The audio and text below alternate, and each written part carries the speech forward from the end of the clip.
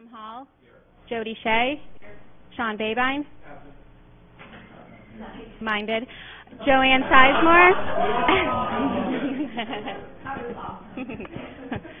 so we have one agenda item tonight. It's new business, and our agenda item tonight is to brainstorm and assess ways to improve community engagement, add opportunities for meaningful dialogue, and increase public understanding during the annual, budget development process.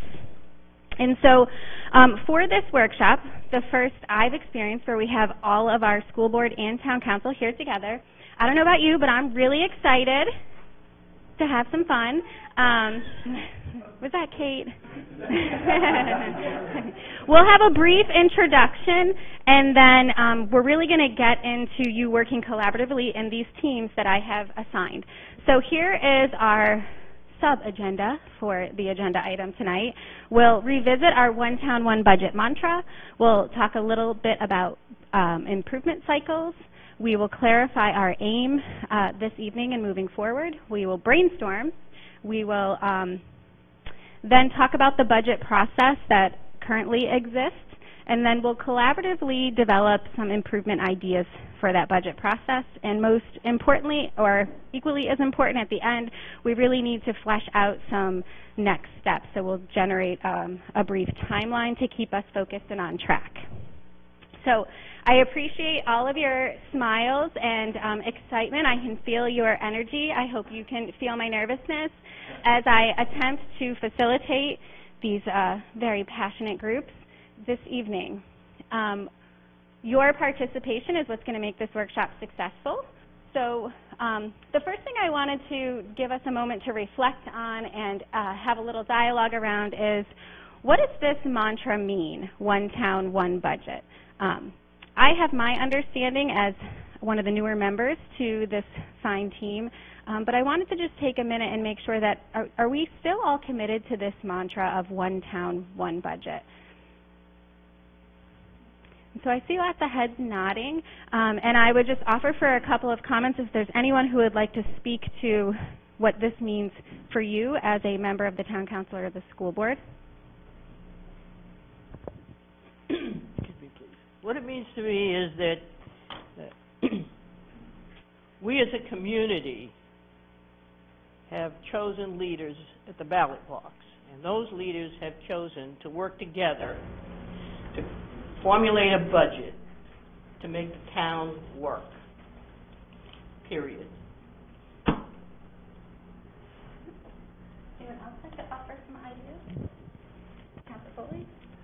Um, I think for me, the mantra really is about, uh, as a community, we highly value education uh, as much as we do our public safety and everything else, and it's not, we don't see as one as exclusionary to the other uh, and we want people seeing it more uh, comprehensively. And uh, for that, that's what, how I've always viewed it, and that's what it means to me. One more comment? Councilor.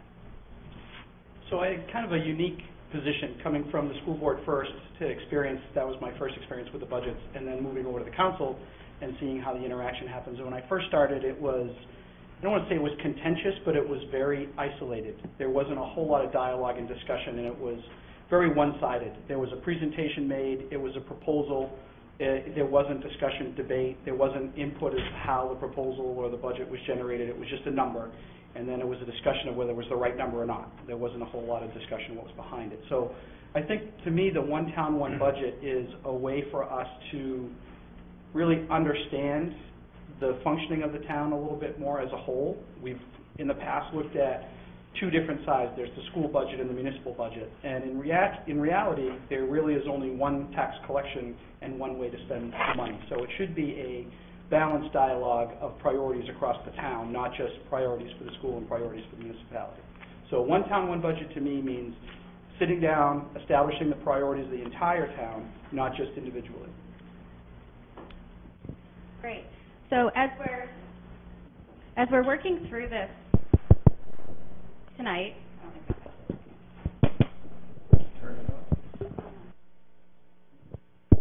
so so as we're working through this um, process tonight, I want to remind or encourage us all to keep this uh, this one town, one budget mantra in our minds. Um, that's going to be really important as we think about how do we improve this process. And so I heard Councillor Caiazzo talking a bit about what it used to be like to develop the budget in Scarborough and some of the, pro the progress that has been made.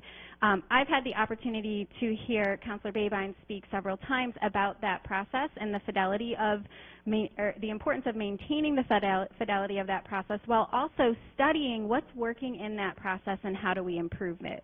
And so this um, cycle that I'm showing you here really comes from improvement science, which is a growing field. Um, and we think about this because we don't want to just make changes for the sake of changes. Changing is easy. Improving is big work. That's hard work. Um, and so what I'm hearing um, as I learn about Scarborough and the budget process is that we've defined the change that needed to happen several years ago by making this commitment to the one town, one budget mantra um, and making sure that it's not just a mantra but that it actually guides our behavior. And then we've made a plan. We've designed a way to test out this mantra. Um, we've been carrying out that change. So then we're here in this the do section of this um, cycle. And we've, you know, collected, we have lots of feedback from our community, um, both one-on-one conversations, chance encounters when you're out and about in the community, and then some formal ways that we've been collecting that feedback. So we analyze all of that data in a rolling, ongoing process as we always try to continu continuously improve our work. And that's important for us to keep in mind because this is what allows us to glean ins insights for what's the best next thing for us to do collectively and collaboratively. So the first thing that was really important for me is to understand are we still committed to this one town, one budget mantra? And when I look around the room, I see your faces saying, like, yes, we believe this is the right way to be working together. But we might have to decide on some next steps there in the fourth um, quadrant there, the ACT.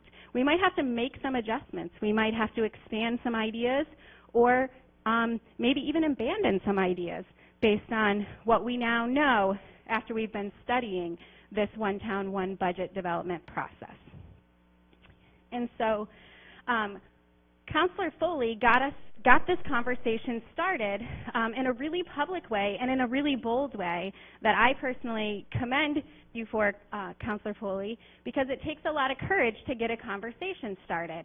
Um, and so as I started thinking about how do you really create a dialogue um, where you present your ideas but are also open to accepting criticism and feedback and suggestions on how to make that idea even better so that it actually does become a, an improvement an idea that leads to improvement and not just change. And so Councillor Foley got us started by sharing what she was thinking and what I heard from steps from day one, from the first time you presented the ad hoc budget proposal was, I know this isn't perfect.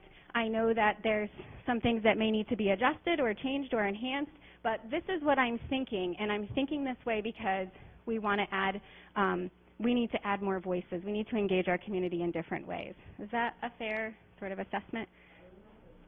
And then step two, one of my favorites, is make sure you have your friend's attention. So did she get our attention with that first initial proposal? Did we all start thinking about what this might look like and how it might play out and what might be the pros and the cons to our process? I see some heads nodding. I know for me that's exactly what it did. Um, so step three then is to ask some questions and make some comments, and that's been going on um, at town council meetings, at joint finance committee meetings, and individual conversations that we've been having with folks. Um, and tonight, we're going to continue that conversation. We're going to ask more questions. We're going to make um, some additional comments.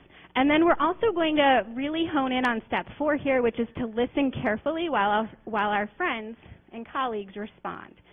So again, I thank Councillor Foley for getting our conversation started as we start to think about this aim. Um, and so in all that I've been hearing after the um, initial presentation of this proposal, I kept saying, well, what is the problem that we're actually trying to solve?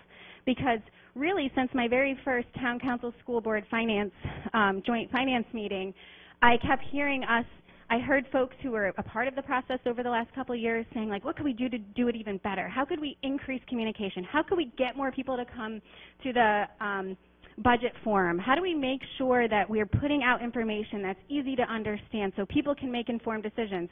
That dialogue's been going on. So this isn't a new conversation that we're starting, but this is a new kind of unique way that we're engaging in the conversation. Uh, would you agree with that?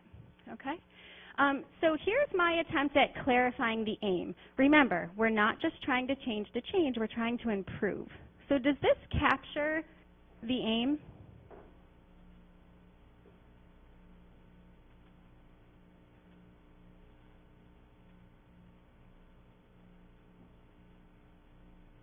And so as you're thinking about that, I'm going to ask, is there anything that needs to be added to that? Should we improve that in any way? I'm going to have Katie go first and then Jackie second. I- I'm just, I'm looking at the word more, and for me, it's not, I mean, it's always more when you're talking about getting people engaged, but it's really, for me, it was about uh, bringing a, a more diverse group. So I think we have pockets of people who are very involved and engaged, um, but not necessarily working together, if that makes sense. Does that capture it? Yes. So opportunity for a more diverse group of community members? Jackie, add that or change it next? My observation has been that there has been a lot of dialogue and opportunities for people to- to interact and react. The thing that comes to mind, the thing that we're missing, and I don't know how to do it, is to change people's mindset. Because what I heard over and over and over is, we support the schools.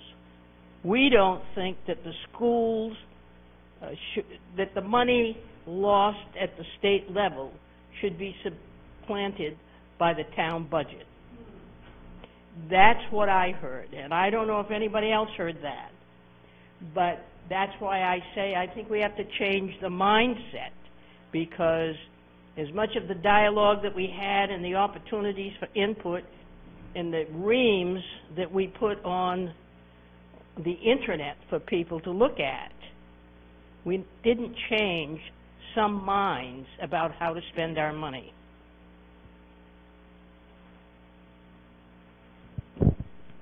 Counselor Hayes? Yeah, if you're looking for sort of words to add or concepts to add, I would, it- you know, as you read down, it's a system that encourages and supports two-way dialogue. I'd love to add, and it kind of ties to other things happening in the community, the words sort of civil and respectful. I think it goes both ways. I think some of the dialogue in the community hasn't always been civil and respectful for people that have differing opinions and values and thoughts. And I think if we can keep it civil and respectful, that goes a long way to moving us forward, so, for what it's worth.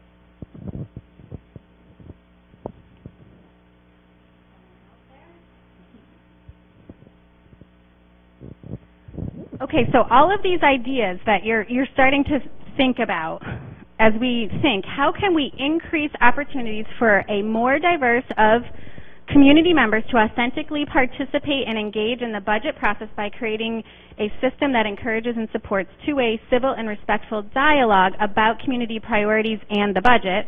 I think I can make the world's longest sentences whenever I try to do one of these things. Um, that I want you to keep that aim in mind. And so I think generally we're on the same page in terms of where we're trying to go.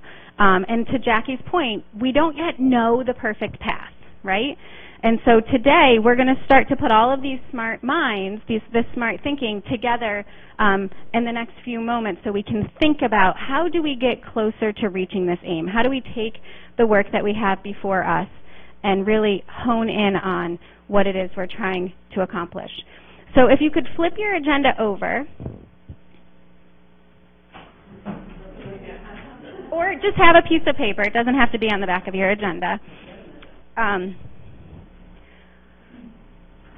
I want you to keep this aim in mind and think about what ideas have you had since this conversation has been invigorated? What are some of those thoughts that you've had? Maybe you said, I'm not quite sure if it's, you know, an ad hoc budget committee, but maybe it's doing this or doing that. The, that could be some of the ideas. Maybe you have had ideas about um, doing the process in a different order. Um, maybe you have some brand new ideas that we haven't even heard yet because you've just been letting them formulate in your mind. Uh, what I want you to do right now is take a few moments to just think independently and write whatever ideas you have about improving our process toward that aim that we just clarified together. And now, before you get going too quickly with your pens, I put this picture up here for a reason. Because remember, new ideas equals change. But new and meaningful ideas is, going, is what's going to actually lead to improvement. So we're trying to find that creative sweet spot in the middle where ideas may be new or um, refined, but that they're also meaningful.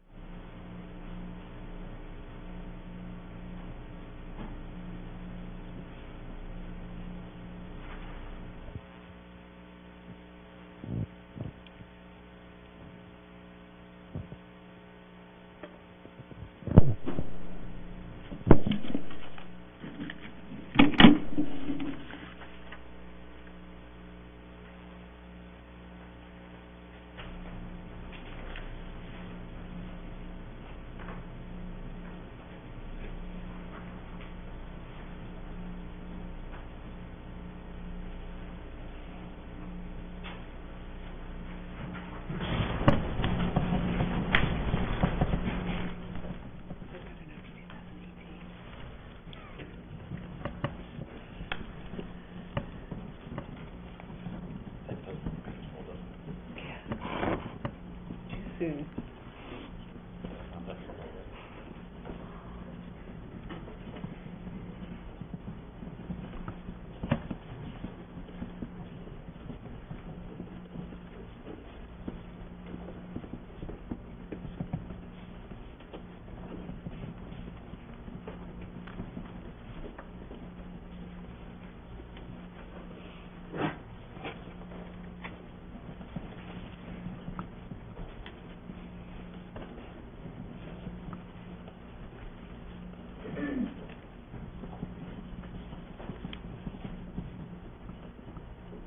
I knew we wouldn't be short on ideas.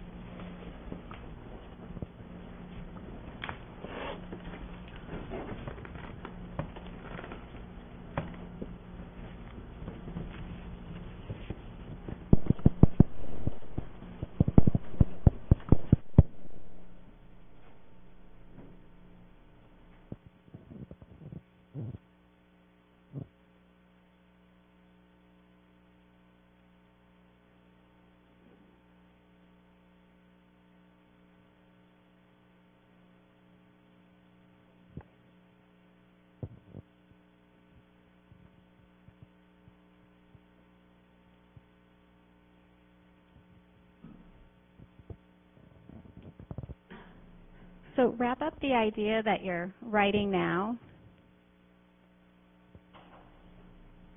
You'll have some more time to talk about your ideas, but I wanted I wanted to ensure that everyone had a chance to have a voice. And so having that quiet time to really put your thoughts down on paper can be really helpful um, at, in helping you really kind of consolidate your thoughts or formulate your thoughts and also ensuring that everybody has something ready to share when we get together in our smaller group. So before you get together to work um, collaboratively in your small groups, I did pass out two things. Um, the first thing that I shared with you is our budget calendar from FY18. And so if you want to just kind of pass that around or put that in the center. Um, and then the second thing is a template that you'll, you could possibly use it's a full year calendar when you start to work as a group. So you really only have one of these.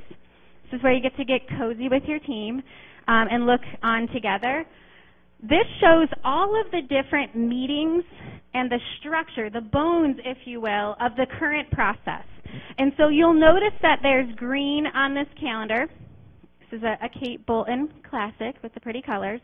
So you notice that there's green on this calendar, and the green shows all of the town council meetings um, that were scheduled in FY18. And then the blue shows all of the school board meetings, and then the yellow, or I'm sorry, the green is the joint meetings, and the yellow are the town council meetings, and then the gray is just the school, the, the school vacations. So we already had last year a series of joint meetings where it was um, the town council and the school board finance committee meetings working closely together.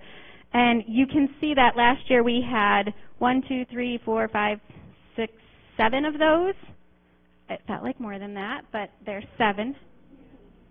There was more at the end. Yeah. And we also didn't include July, August, and September on here, so that could be why. Um,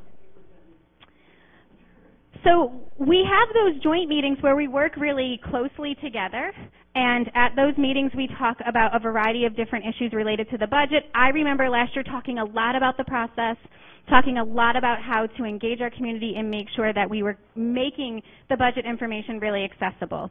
Um, then you also have the, the public hearing on here. Um, you have the um, town council committee Finance Committee workshops on here. You have the Budget Forum on here that happened back in April. This is really for your reference. So when you start to think about how could we improve, I thought it was important first for everyone to know the existing practices. And then I know that um, in the school department, we have this other document that is three pages long um, that lists out all of the other types of meetings that we have as a school department. Um, this calendar starts on January, but Kate and I were Kate and I were talking earlier, and we said it, the process really starts in November when Kate is prepping for um, the rollout in December to leadership. So there's three pages here of existing meetings and structure that um, we work really, really hard at making sure it's a thorough, um, well-communicated process. And the town has the same sort of process, right? There's department meetings um, where Tom articulates expectations, and then there's one-on-one department meetings where they refine that their individual department budgets. Um, so in the next 20 minutes, you're going to have 20 minutes to work together as a team to Think about those ideas you jotted down independently, share those with your group, bounce these ideas off each other, and look at this calendar and say to yourself, what could we enhance, improve, add, remove to our existing structure to get back at that aim we talked about earlier, which is to engage kind of had it memorized before, um, to increase opportunities for a more diverse group of community members to authentically participate and engage in the budget process by creating a system that encourages and supports two-way civil and respectful dialogue about community priorities, which of course then equates to the budget, right? So for the next 20 minutes, you have this calendar. You also have a year-long calendar that already maps out the um, for FY19 just when the town council meetings are and when the school board meetings are. You could feel free to mark that up or play around with the schedule of do you think the budget forum maybe should happen earlier? Should the budget forum be different? Do you think that the joint meetings should happen more frequently, less frequently? Um, do you think that we should utilize some of our other subcommittees like the communication subcommittees um, to engage the community differently? This is your chance to brainstorm ideas. And as a group, you're trying to get to two or three that you all could feel good about um, because at the end of the 20 minutes, I'm going to ask for one person from the group to present your two or three team ideas or group ideas. Any questions about the process? So now your table mics will be on for this. I'm going to turn off this big mic um, so that folks can at home um, can hear. And those of you who are here, if you want to get up and walk around and listen in, um, you're welcome to to do that as well, as long as our workshop participants feel comfortable with that. All right, so 20 minutes. I will bring you back together. I'll give you a five-minute warning so you can collect your thoughts in 15 minutes, and then we will present each group in 20. Have fun.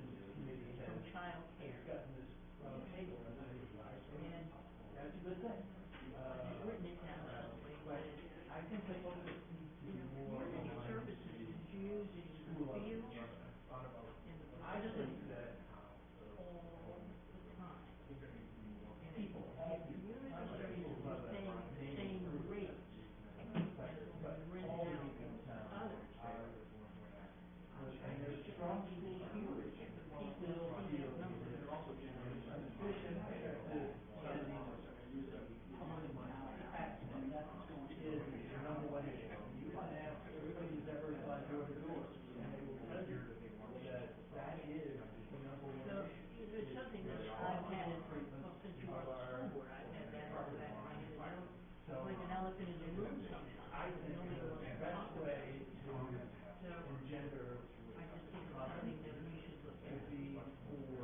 not going to war gray right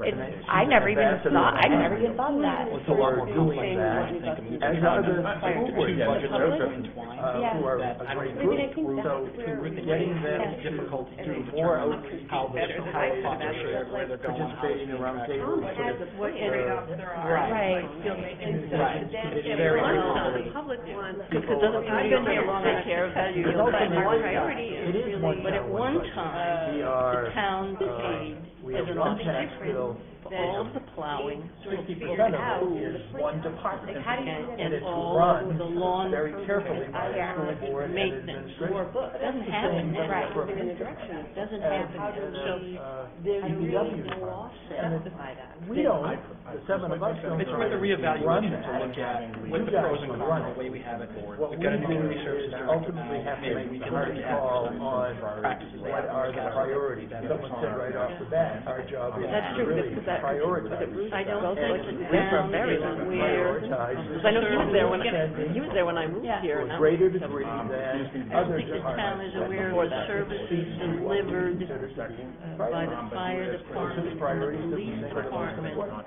important. And on other- call, Other so departments You know, have some of the things they felt do. like they should have done Um, better, one of them but they haven't, They because they it's go been to tough the, to get the, three or under The other one three is percent. I don't know, the old folks, And so that's what we retirement to do community, last and year. Then we and emphasize. all of those places that that give classes big on I But we did about very care good. themselves and there, Two and a half, included in this I mean, budget to whatever. it so is. this community is unique. You envision these forums I mean, how public, many like, communities open you it up know, anyone can come. where Um, the fire so- chief and, and the police You chief know, I, get I along I kind of and looked work at, so uh, well the two together, circles and then she work had so well created together there, with the school those department. slides, with that place in the middle. Why, uh, we're gonna, what could we get to? Yeah, because I can come up with new things that we're gonna be able to do, like you said, because of their. Oh, absolutely. And they work so well And I together did, a couple of years ago, we did a number of events around. No, I, I, it's a really valid point. It's something I never even thought There of. wasn't a whole lot of people there. strikes me even so, we could still do that, some additional work the could be done on mechanics the and project process of board how we there. the budget, But the that's not of in focus that and the sweet philosophy spot in the middle, which I think I the was trying to mechanics think are of, well, almost set. what? Charter dictates a lot of that, Yeah. policies, One was ordinances, new, and okay, procedures. And then the, the What's in the part middle, was think the creative, you know, that, You know, we've always learned how to change the Yeah, mindset, that's- how to change the approach to exactly, and, and So I think is, maybe um, less so, emphasis on joint as meetings we together with each other, in and that more emphasis space on there, I joint think meetings with the public. You know, we talked in the If you've joint finance seen authority, any other a towns roadshow, where they went out into produce the public, a a counselor and a, and a school board that member. gets mailed The to very every beginning of the household. process, not just to I've explain the only budget, been in but one no, town sit down and where say, they very what are your, did what are your really concerns? well, What are your and issues? now What- I've what heard do you about see? another Focus on town that. that's Then seen we'll go their back and craft the document. budget. So, Let me um, ask you a this question. particular last one I saw was from How many Bridgeport. people do you think would show up? It was The school board fabulous. has done that. Okay, but it's- but it's a different thing. Bulk Bulk mail. mail. It was, I Now, if we could Do you think reduce that, the size of it, because then I like can show that to you, but it's pretty big, so we- we'd have to reduce the size of it because it would be People play. Yeah, but you know, they send it out to Bridgeport and towns, the reason they do it up there is because the citizens demand it. Have our To own see, meeting and and that's- expect You come to us. They're okay with the money being spent where they wanna have. It. So, like Dover and all the whole thing, they love having conversations come in, they approach me, I don't even go to them, they approach me and ask me if we would do roundtables It would for show them. So, they want the information. They want I information, you know, do No, it question is, how and information What very, do we- Pre-digest. just be too big. So, we get it down to a reasonable size. The council, or, okay, we have to join together, decide to fund that. You because I can tell you, the council doesn't say we can put, we could put something, you know, we try to find some way, um, you know, and we have to come together because we believe more that we need inside the door of every house. I'm telling you, the roundtables that we made, that, you know, that's my big idea. Um, in addition to that, we could do five, five had in the, um, in the leader because it's, it, you know, it seems to be the leader, the leaders in house. So, you know, if we can regular articles going in, whether we're not, you know, one month in fire police department, school department. And I would much prefer that Felt like that, or we have, I just don't every month was another town. But I think the budget forum is, the budget Fire is a great department is an awesome opportunity. job, It's, it's, but it's essentially, also one, we our try fire create a conversation, but safety. here's what we've done, here's why. Now challenge it, or now ask about it. Yeah, You but I know, think if we had a, um, a roundtable, My other idea really pertains to We're not talking about what the school board alone you know, uh, you want, you want, want, So I won't get into those. great, okay, let's put that in that priority list as well. You know, we But, need, um, we need buses, You know, put that in go that back priority to. You know, we need your to. I went back over all of the committees that I. all of us really is, is a, is priority. Yeah. That's really all it. Is. So if you had a goal, but I think you have that, you know what I mean, if you call it a priority, you know, something to that Out of effect. that, You I think that's one of our biggest problems that comes in meetings. So they need a year to get, you know, they want something easy to get No, I on. know. It's not gonna be I know, I know you're negotiation, getting no a policy, policy, I, I anything. started with like Game of Thrones, right, there's like five So, different sections, and they all have different, and, and, and we- we're trying to do that, and How everybody can we together. keep How was it a every budget every house? ton of work for, I'm talking years ago, and Jack, My last one. well, I have a lot of little found echoes going on, but my good. big Productivity question is, is, um, and the work required don't seem to match up to me. Chance to share ideas. this man gave, you know, that We only have, Great. might be able to, No, you have you that. response online questions, provide that as. Okay, what? All right. I'll talk really fast. Don't worry about it. I was wondering. My, my main thought is that we do have a lot of meetings, we do have a lot of responsibilities, we do a lot of work to making a plan. Yeah, I guess that's kind of what we're doing right now, like kind of a turnaround initiative for the budget process. And so, we also, at the same time, have. Turn around the process. And then I wanted to talk about like creating a mission statement for the budget process. I know everyone is kind of for the budget process, which kind of, yeah, yeah, that's kind of, kind of what, you know, kind of what, I kind of wrote that before, but, um, and then, um, Whichever one that they want. and those um, one-on-one There might be and I wrote about, I read about um, in Oregon, they do something um, like study sessions, it's like, a- No, so you're you know, just getting together and talking about an issue and just getting like different groups. But because to me, it's a different, a way different idea than ad hoc committee. So it's not as much someone that's gonna say, oh, okay, we're suggesting this, but it's more studying it. Yeah. And some of the public meetings. I think an ad hoc committee is a waste of time, quite frankly.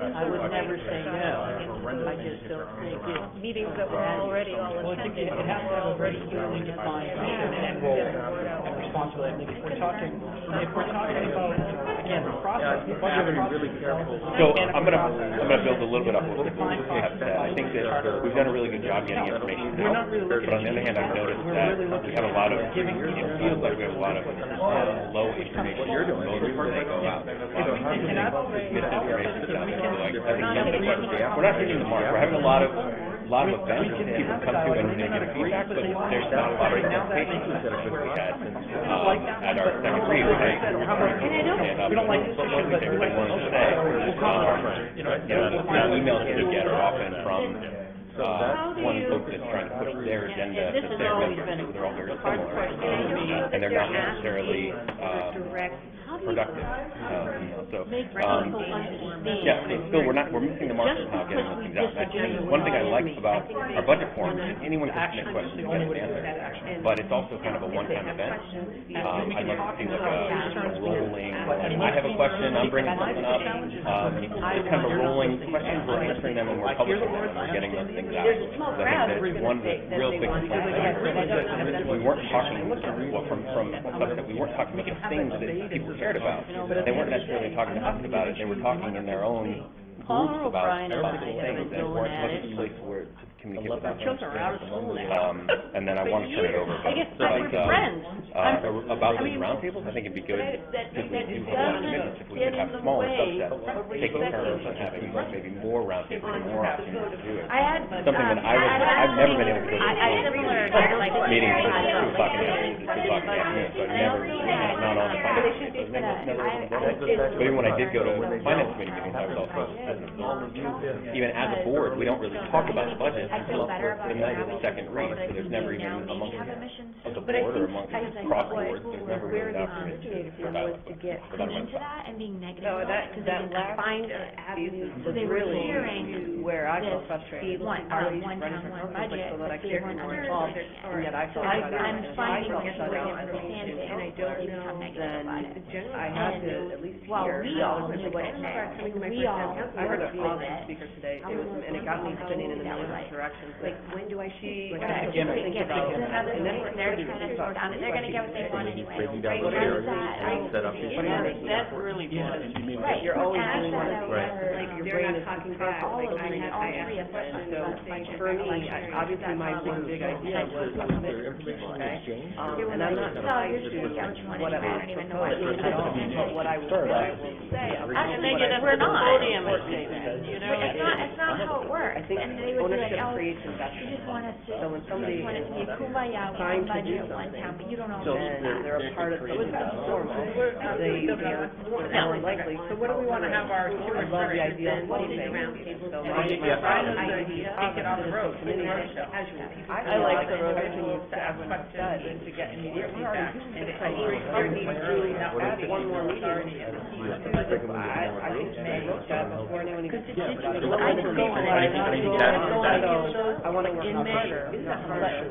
So that, Yeah, I know there was talk about it. Talk about it, but it's Productively, not not necessarily about, you know, and so, which is how I get here, you know, and, and to then go back. I was reminded of the Timing wasn't exactly video that I got Fine, from Aaron. I think it should Oh, be. okay. All but finish, finish. Nope, I'm done. Even the- Oh, I didn't mean to okay, off.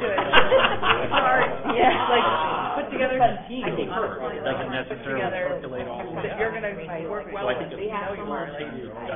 So we're all around So half. I'm out anyway, but you know what I mean, like, what you and Donna, or like whatever, just have teams that are already set up. So if I could respond, my concern about having a, uh, You know designated ad hoc background well enough is that that you you can are work, you essentially know, off each other. authority I think to it just really works well small for groups. trying to It- it- get budget. You did a good job. And we quickly lose control of it, so I guess that's Well, yeah, that's because not my concern. Your, your point about low information voters is so true. And and that's why I like the idea of, I love the idea of the mailing, the you know, digest. we worked a year or two ago so hard on analyzing what did the school do well and what didn't it do so well. And our data, together your two to three you could ideas do a neat so little that, and synopsis of identify that. someone in your group to Where share do we stand against What do we think of all these idea? other Like, so, benchmarks? Dedicated the road, Because that would, uh, make a plan for. that would influence me to say, Study circles. Clean up the budget and I'd rather, I'd rather say, find out, well,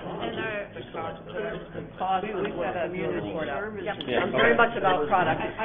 So if I, if I could more of a tactile, I will, if you, if you agree with what I think were the three big things. The thing, the three that I heard that we all had consensus around were, uh, the idea of expanding roundtables.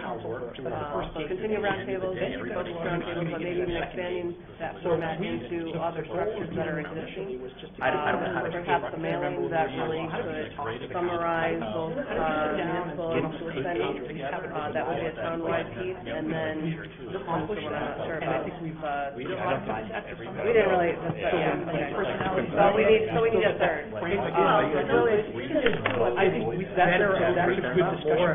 I mean, whatever it is, there, yeah, yeah. Really. I don't know, I guess, I, I would say that, the- I mean, what do people think about that But I back and think, forth I idea, think or, or the the focus rolling should be budget? now on getting And they're, they're budget, community we're publishing them out. message out there, so we're kind of all on the same page already. That's why I Now, think- so we've kind of already played that first hurdle, it's almost. See, you elected people, You know what I mean? gonna contribute. I, I like how to. No, but in a positive format. I, I think. I know, but I thought everyone has the big one, but I don't think it's really budget. No, no, no. Oh, I know, I, I, I'm just saying, are there any? Same fact that sent in a gazillion questions But anyway, that were already in. Yeah, I'm just trying, yeah, I'm trying to, I'm hearing teachers say some stuff they were interested in. Uh, well, and if, so the third one was adjusting the format, um, but I would be like more like fifteen Can you give us two more minutes? Yeah, I mean, just make sure you add in, Are you suggesting a we community dialogue agree we don't want to add in another layer of. Even just to come up with a Yeah, I'm like, didn't I hear that here, or did I? That's hard to say, whether you want to have. yeah. it- But, but, but I would You know, say that- that, So I'm not, let me just kind of look at what I'd kind of written down. Not a That's weird dipping it up. right, but just like, what do we want? one thing I'm missing for me here, I would say, is this. I, that's No, what no, I'm. no, but just what?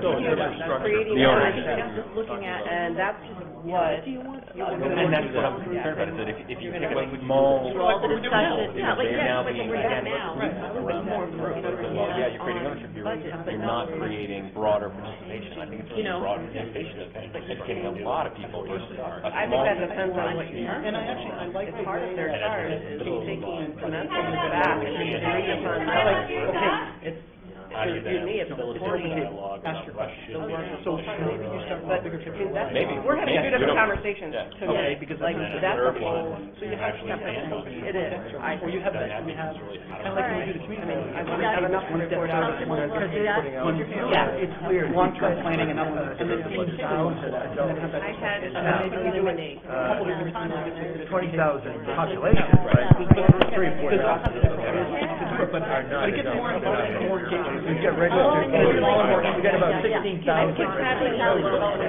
But yet, it's a, it's in a a library. micro mini group of people who are driving the expression of concern. Well, they're doing reading primarily in the afternoon. Okay. Um, I hear a ton of really good ideas. Do we have a volunteer of a group that wants to go first? All right, this group here, group one. All right, just again for those tuning in at home, if you just joined us, this is our joint school board town council workshop, and we're working collaboratively to generate some ideas um, toward this collective aim that we clarified earlier. Um, thinking about ways to increase opportunities for a more diverse group of community members to authentically participate and engage in our budget process by creating or enhancing our system in order to encourage um, and support two-way civil and respectful dialogue about community priorities, which then, of course, drives our budget. So group one's going to start. They're sharing two, you're sharing two to three ideas that you had a consensus in your group on. Okay, so we had a lot of great ideas, but we boiled it down to that the mechanics of the budget process are pretty well set. Um, so there should be less emphasis on meeting with each other and more with meeting with others in the community. And an idea we had for that was to take it on the road, like the road show that um, the school board did a few years ago to um, impress upon the community the need for one-to-one computing at the high school. We went to where people were. We didn't wait for them to come to us. We were we went to Rotary, we went to Kiwanis, we went to the Senior WOW lunch group. Um, I think we went to Piper Shores. There's a whole list of places, but it was easier for people to ask questions in the small groups, and they got immediate feedback or answers, and we could fix um, misconceptions or things that weren't accurate right on the spot instead of waiting, you know, having a big forum where a question's asked and there is no response right away because it was just a general public comment or so this is really very close engagement. Um, so we think that is something that we should work on in the future, have perhaps a team of a school board member and a town council member where you just work together and start early. Like November, December, instead of waiting until it's the heat of the budget season. Um, and then that can help set the priorities going forward for what looks like, you know, people are either confused about or what people want to see in the budget. You can um, build the priorities around that to some degree. And then um, there's uh, the next idea kind of builds on that, um, uh, an idea of a study group where people, and we're still fleshing it out, it might work best with the communications committees to figure out maybe from those meetings what do people want to know more about, what should we dig deeper on, what do we need to explain better, spend extra time on specifics, certain specifics, rather than so much time trying to cover everything that maybe is already self-explanatory by going to the website. So, does that cover it? Does that sound good? Okay.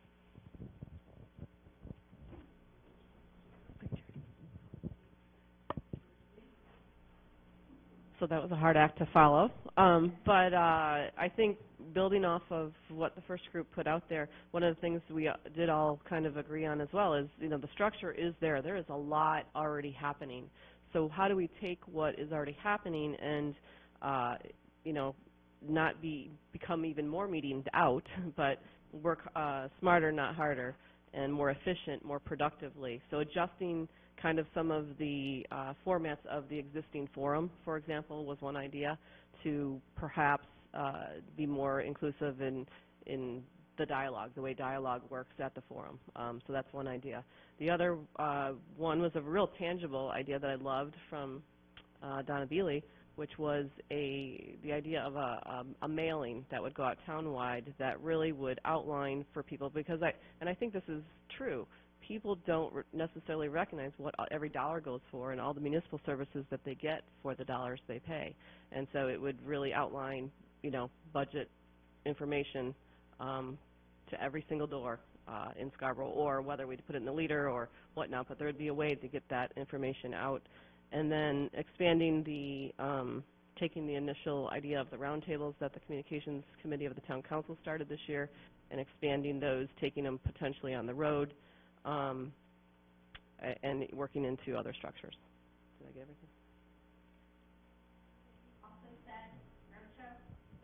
Yeah, I mean, we, we've, one, uh, Will said, uh, low information voters need to know more because voters need to be absolutely confident that the money, the budgeted money is being spent efficiently and effectively.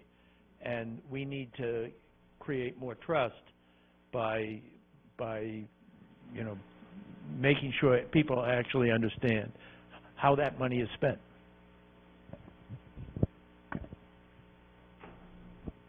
I think I got the short straw, so this will be kind of rough.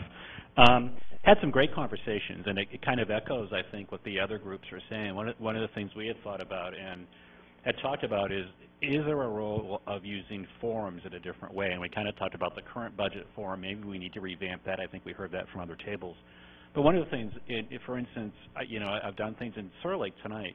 A facilitated discussion can really help get a lot of voices at the table and to build some type of consensus. So we talked about, as we think about adjusting the calendar, are there ways that we could, before the budget process, really take a pulse of our community about what they're thinking, get their voices at the table that can kind of set the framework for the budget work we start, could there be a process that somewhere when we're in the middle of the budget season, we start to have some answers, we begin to understand what some of our opportunities and limitations are, we can start outlining for them what some of the choices might be, and they can help us through a facilitated. A free-for-all I don't think necessarily works that well, but really talented facilitators can really bring a group to sort of consensus. So have a mid midpoint where the community can start wrestling with some of the tough trade-off choices they need to make. Um, and then the third sort of forum, revamp what we're doing, but as we zero in on what the budget looks like, how do we, how can we make the information and will your term about, I, I, I won't go, whatever that term was, but once we kind of get to a final place, how do, can we then communicate that in a way, and, and how do they want it to be communicated, and that type of thing. We talked about that. Um, what else did I miss, group? Anybody, anybody want to?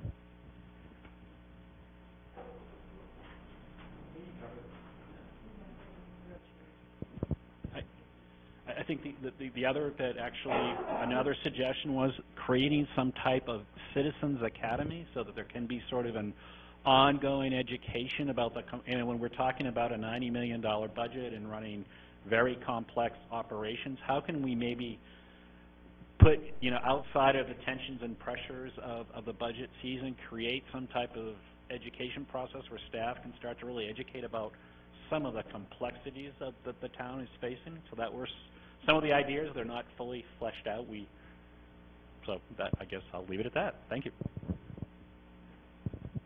That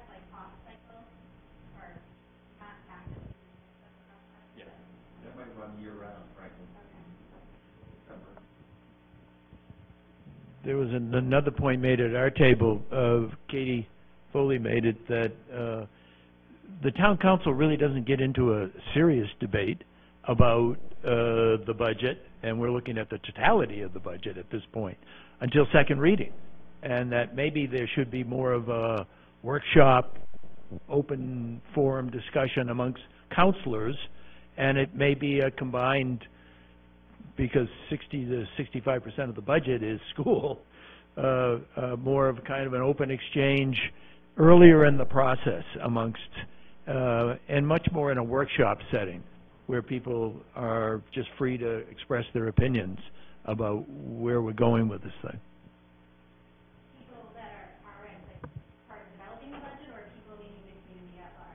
Well, there's always public time in, in those workshops, but really to, to get the town council to be able to express to the school board, school board to express to the town council, so we, it's a, it's a information, educational session for the town officials, but also very educational for the public.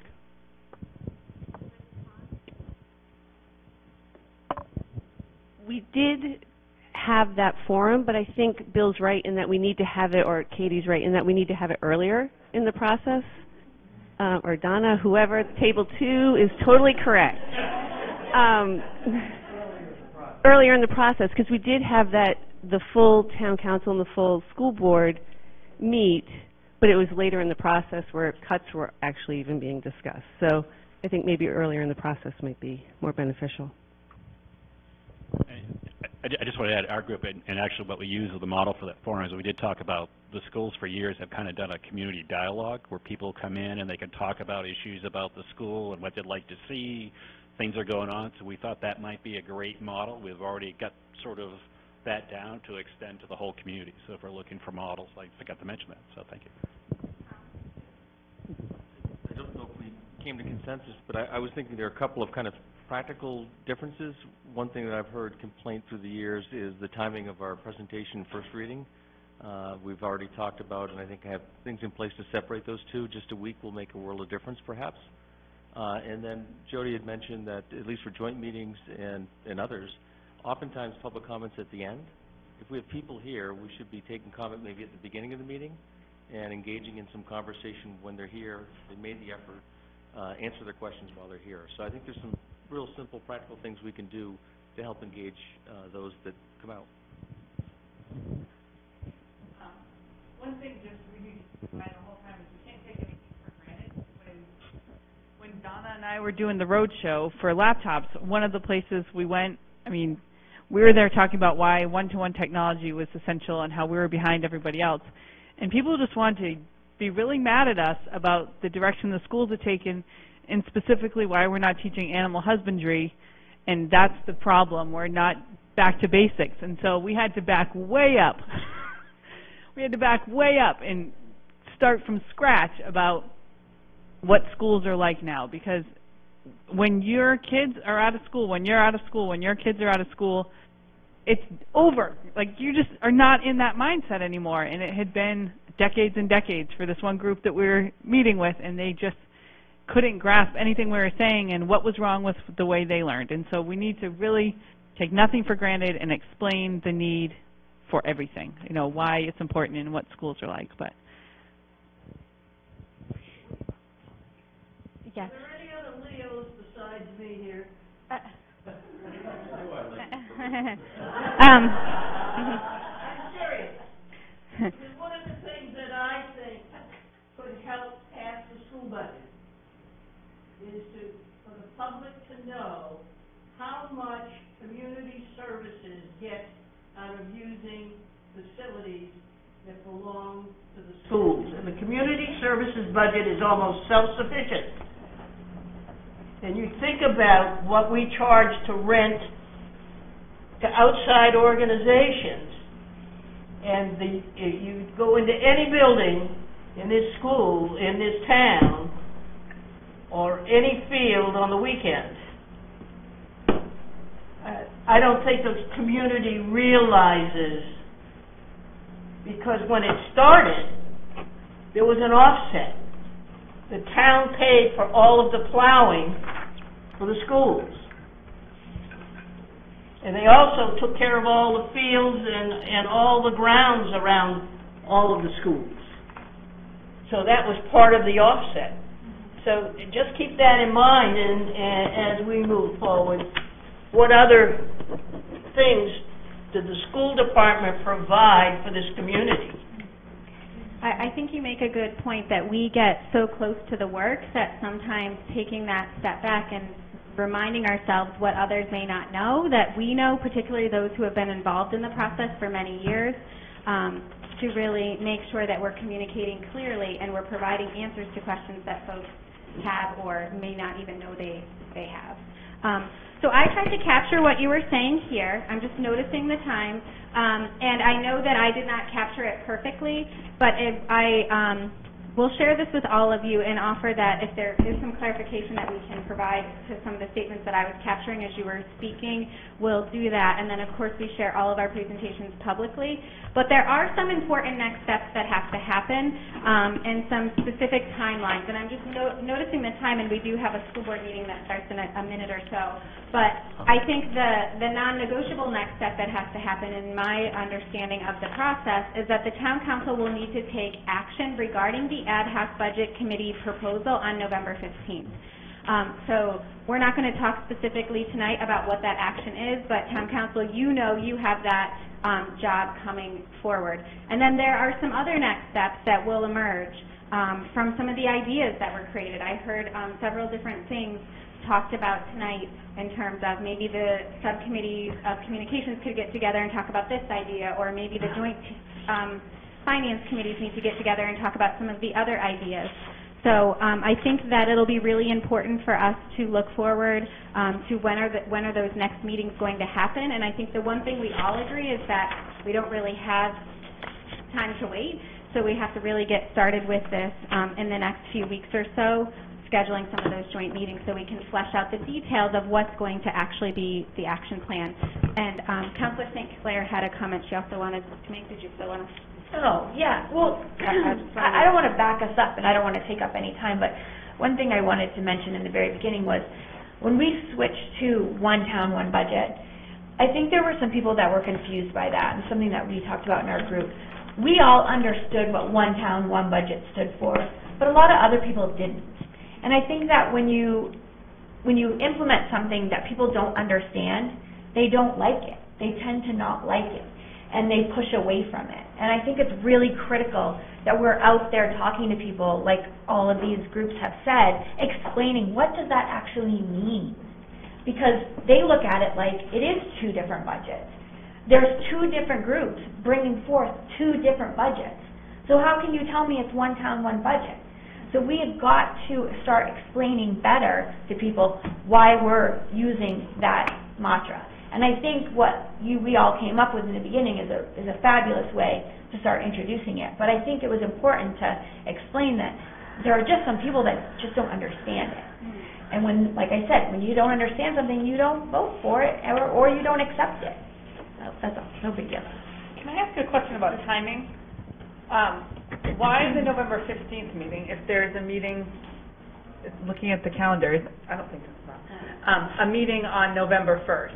Because it was tabled to November 15th. Oh, I didn't was on know, oh, I didn't know it was tabled to a specific date. Yeah, Got It it. had to be yeah. time bound. It had to be a time. I got it. Didn't we say that people from the public Yeah, could it's talk on here. tonight? It's right here. It's the next thing. So this isn't actually working very well. Um, but if there is anyone who would like to make a public comment, now is your chance.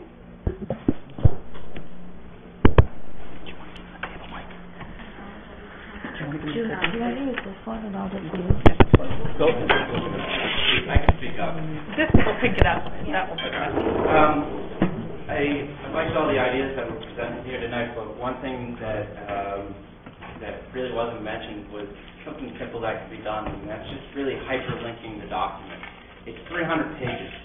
Some of the stuff I don't care about, and other citizens don't care about, and they just really want to get the information that they want to find. And instead of spending twenty minutes scrolling and hoping that I find the right keyword to type in, you know, if you control F also on a, on the PDF, you can search words and stuff. Some citizens might not, also not know that, but if we just hyperlink the document, I get, uh, at work, I get instruction manuals where I just can click on the page number and it'll quickly take me to that section of information that I want. And instead of having to scroll through 300 pages, I know there's like an index already and stuff um, that's been done and it is helpful, but again, it's a lot of scrolling. And we live in a society where everyone wants it now. The faster we can give people the information they want, and the quicker they, they can get it. So that, that was the only thing that I thought wasn't brought up already tonight, so thank you.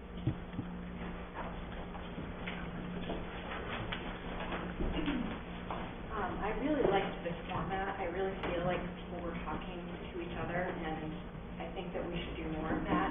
Um, I also wanted to comment that I was, I didn't get to go to it myself, but the Plan of Palooza format, where, you know, there was kind of an open walk-in when you have time. Not everybody can get out to the budget meetings at night. Some people have young children, some people are elderly, they can't, they don't have transportation for whatever reason. Um, so I think just making it more convenient and to be able to have an unintimidating one-on-one conversation where people are not forced to get up in front of a hundred people to say what they have to say or to express their concerns. I think doing something like that and a week-long or two-week-long or however long is, is either appropriate or feasible, um, could be a great way for people to feel more comfortable as, as well as build some trust and relationship with all of you.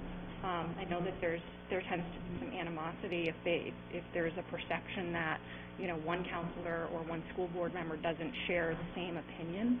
Um, but having those conversations can make a huge difference. And I really, uh, want to commend you all for, for doing this and to you for pulling it together. I think it's, it's fantastic, so, thank you.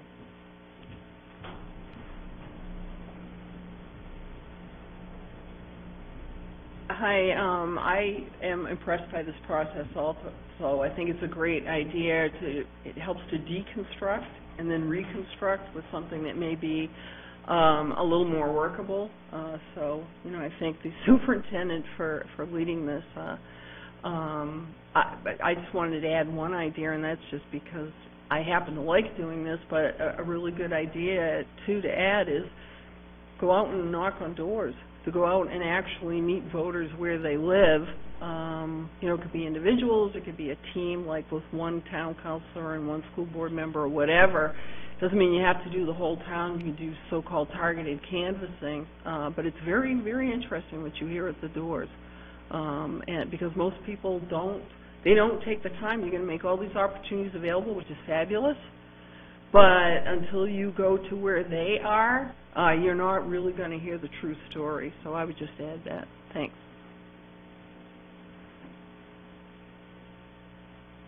Anyone for public comment?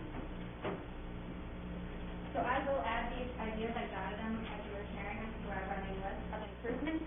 And then I think the last agenda item is adjournment. Does there have to be a motion for that? Second. All in favor? Thank you, town council. We'll come back to the school board in five minutes.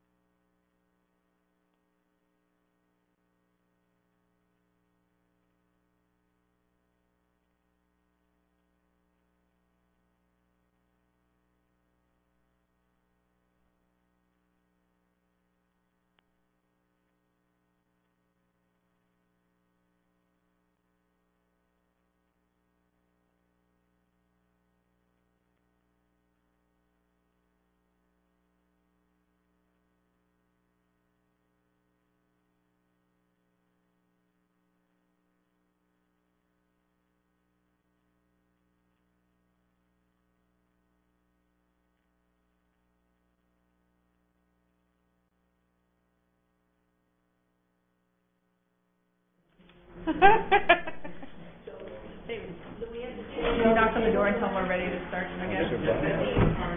Um, hopefully this has been on hold.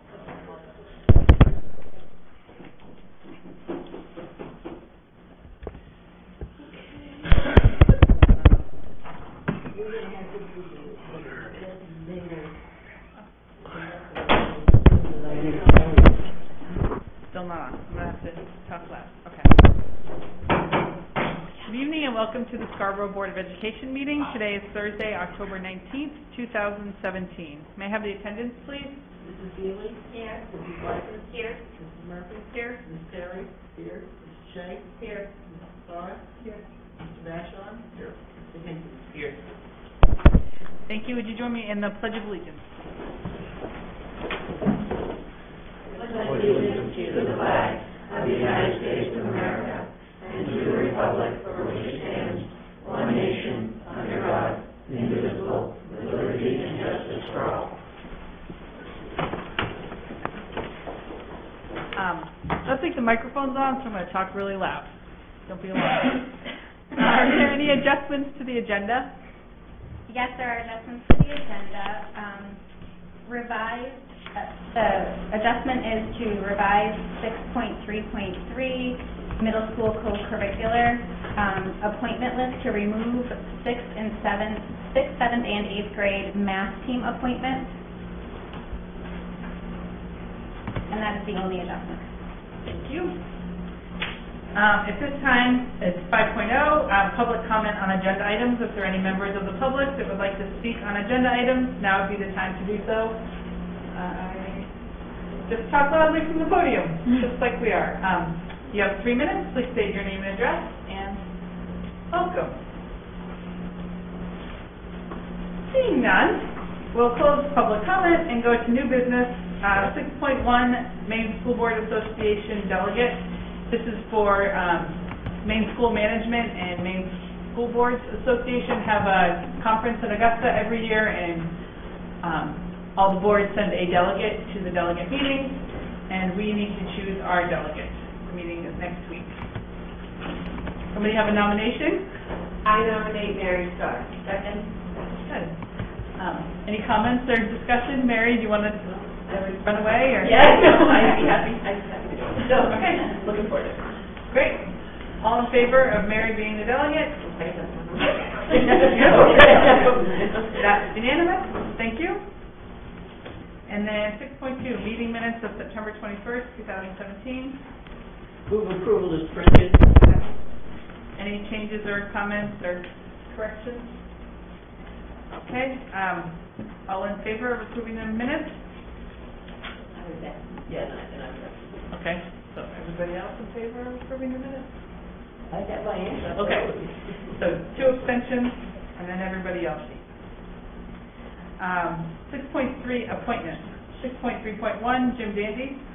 Uh, my recommendation is to appoint the co-curricular positions, um, as presented for Jim Dandy's.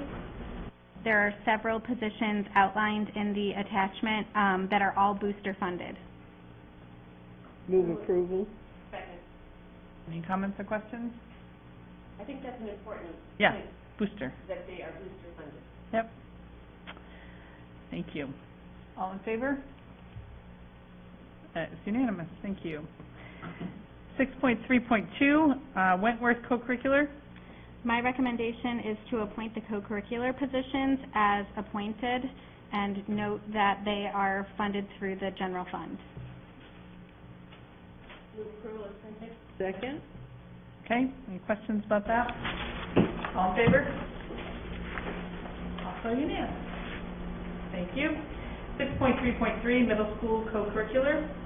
My recommendation is to appoint the co-curricular positions as presented, and those are also funded through the general fund.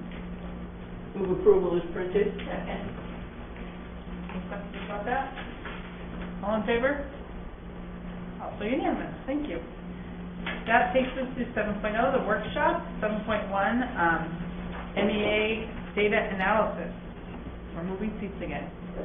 Before you move your seat, um, I did want to just bring your attention to the back side of the middle school co-curriculars. There were, um, three volunteers that also are donating their time for those co-curriculars to happen. That is Tom Griffin, who volunteers for Builders Club, um, Jim Cronin, who volunteers for Interact Club, and um, Chris White, who volunteers for um, the News's Pen. So we thank them for their donation of their time. And now, as we do move, um, I will introduce um, two of our district leaders, Monique Culbertson and our new improvement strategist, Kathy Terrell. Barb Hathorn um, worked collectively and collaboratively uh, on this presentation and designing the workshop, but was unable to join us tonight. So with that, I would turn it over to Monique and Kathy, and thank you both for your extensive hard work and effort that you've put into preparing for tonight. I know it was a lot of work. And now we do need taking a look at the tents that are on the tables and seat yourselves in your groupings. I know, I already scored it.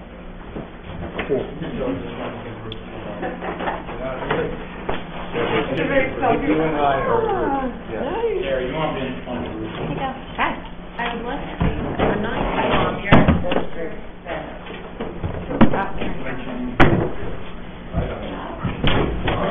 Tables are going to consolidate the four of us, or is it, or is it like, Joanne, you're with us?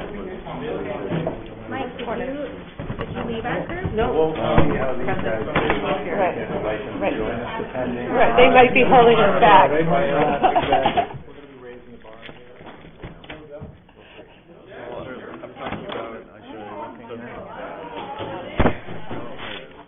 Oh, you- perfect.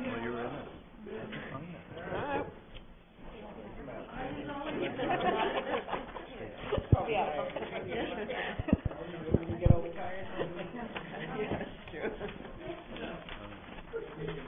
Stand and talk over here. Thank you. As is always the challenge when you put people in groups is they talk to each other. Um, so, uh, this presentation and this workshop has been designed so that you can get a little bit of a feel for our data analysis process, our improvement process that's emerging. Are we on now? Thank you. Thank you so much.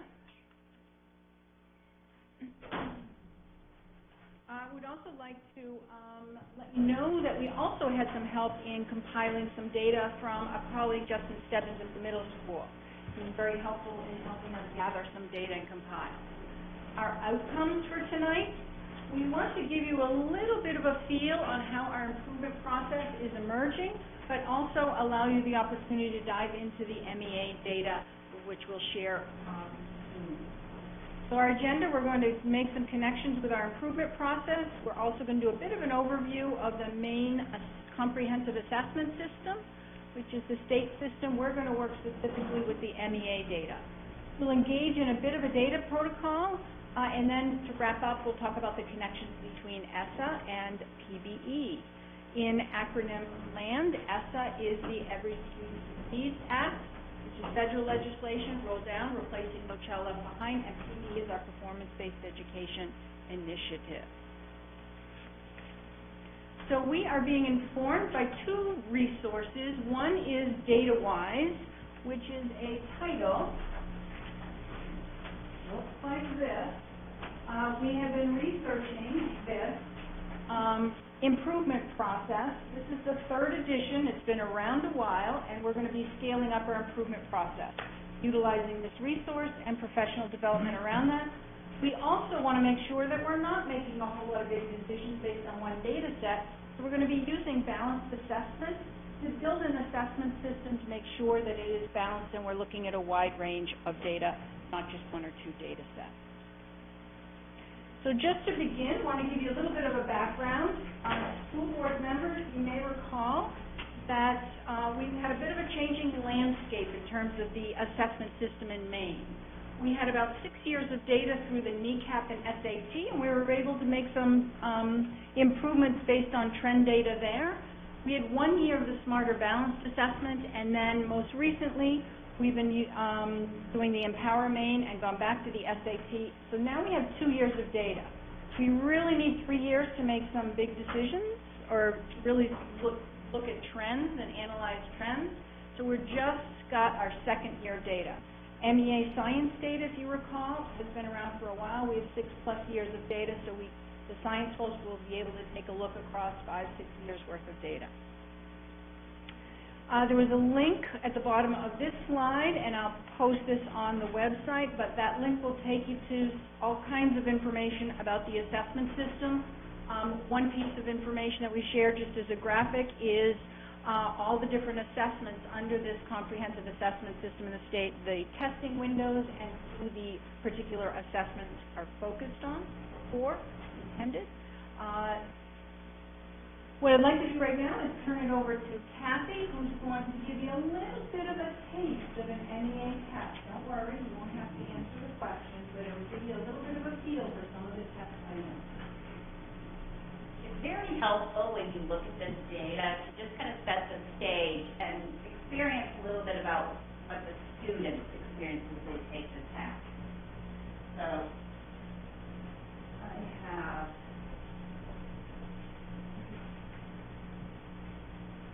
Oh. Okay.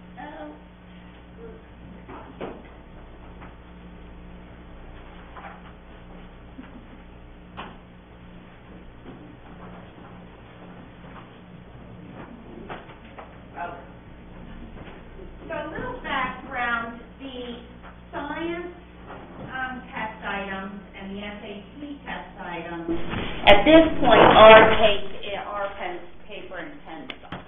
The three, eight, ELA literacy and math, those are online. So you're all looking at just paper and pencil. Um, so you'll see in your folder are packets of test questions, a worksheet just to jot down your answers, and then the answers are in an envelope. So take about five minutes to just look over the question pages, or in ELA, you'll see it's a packet, and identify which grade level that the page or the packet, um, which test it comes from. You don't need to actually do the test questions, so I, in the answers, you'll see I have provided. And so you're doing this individually, and then you'll talk in your small group.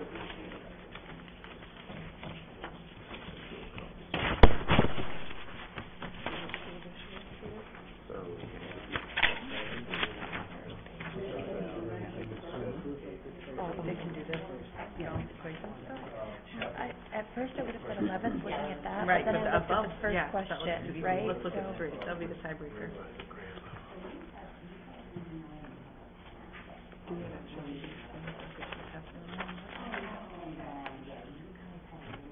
I think, I think that they can balance that equation, I think that they do that, I think the x-axis and the y-axis, I think they do. Okay. But do process equation to be good test. I'm glad you done that. I'm ready. We're gonna start with this. Yeah. Think eight?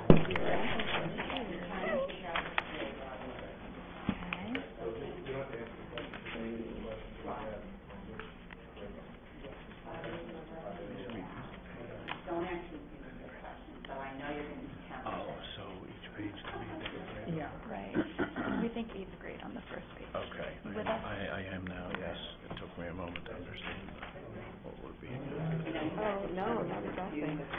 Yeah, you can take them home and actually do the questions later. Oh, I see what I did. Fifth or eighth. Two. I think, I think fifth also.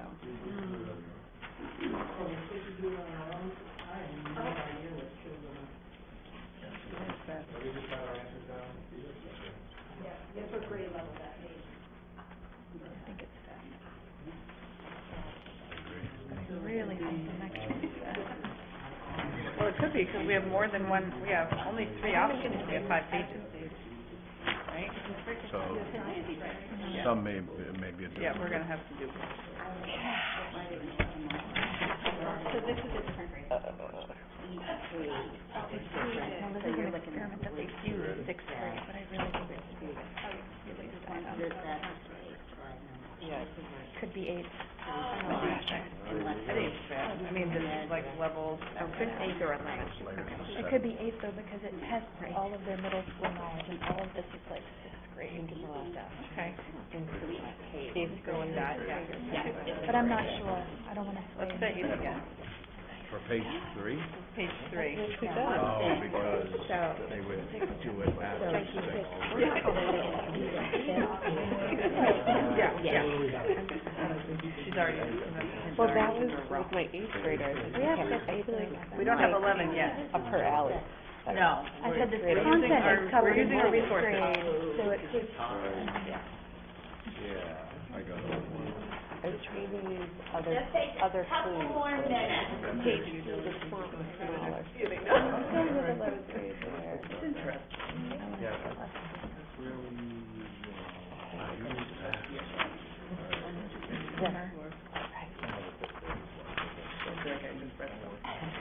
don't I kinda wanna go back, I wanna go back and make that. We had to use the which one? Yeah. One. other, That balancing other equation. clues. But, But the first one, so, but they test all levels, right? So, nine, That was you know, my and first so one. there are kids at all But, different um, skill levels and. That is what Uh, I, last what do we- page, I, five it to feels eleven. really dumb. What about page four? What But, does it say? but, I mean, the, the, the, the, uh, design I know. fits gracious. So this is, SAT, uh, page three. yeah. Oh, They have to okay. really Yeah. synthesize Got a bunch of information. numbers and big words. They have to synthesize this information and do like a really strong narrative. Way up on. All right, so, how do we there's feel about a page little one? extra on page three. Go back and check over. You wanna refine that? On what? Uh, I, we already looked at it, yes, Oh. we're already done. That, that balanced equation's throwing her off. It is, it really is. After what, I'm not sure I could handle it right now, and I'm way beyond eleven. I know, me too. I put eighth grade. Glad I'm not in fifth grade anymore, or eighth grade, So frankly. you guys can, you can share with each I other. think I have to know what the definition of adaptation Yeah. is. And number three is a bit, And then Eleven is. take a look at the answer. No, there's no third grade. All right, everybody here. eleven, five, eight, eight, eleven. Yeah. That's where we're going, that's what I eleven, said. five, eight, it should be five also. No. What was the one, six, three? Let's, it's Let's go covered. fifth. Yeah. Let's go fifth. Now it's Eleven, eleven, five, five, five, eight, eight, eleven. Is this kind, is this kind of big our way? Oh, we're Yeah. lost in our answers? Can we get a phone a friend? Can we look at the answer? We're looking at our Yeah, answer. look at the answer. Want eleventh grade? I feel like. Even, even then I had. It's like fifth grade. Job Yes, two. eighth grade, Eighth grade. Yeah, Was eighth grade, like, you know. we should have listed our first. I kept it. I You did? I put it in the second. I did. Page four, eighth grade. Page five, eleventh Okay, grade. we rocked it. They're more involved than I remember. So What's if we the, go what's the down, proficiency score for actually, uh, that profession page two? It's an A, thank you. Um, so what's your one aha? Page When five. Brad was pointing out, one aha that. I, I didn't know that they went over the. Oh, yeah, I guess So it's after That's the one I got wrong. I had eighth grade. I've known Get for them counting against fifty years. As a group, Back to the answer. Uh, me, but really, uh-huh, that, that are healing in many, many ways, but our scores continue really, um, move away from the get outside, so it's improving, and it's because, as, as evidenced by this, that our kids are strong readers and strong writers. And I mean, this is just one of how it is in our. That is fascinating. Just for the next one. Problem after this problem after this problem. Deeper into the grade, all deeper into so they're really getting. And we have the core, like, core topics, core Yeah. that is covered, but I really do think it's because we've invested heavily in reading and writing, and our kids can read and write, and It's our aha, all right. You really have to be able to do that when Um, you're they can make it a level of Yeah. difficulty, that's why we That is continually rock wicked it. awesome.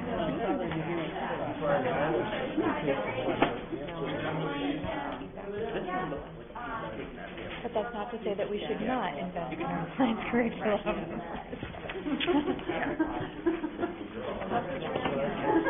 Yeah. Okay, everybody to share? Ready to share your one aha? Let's go with yours.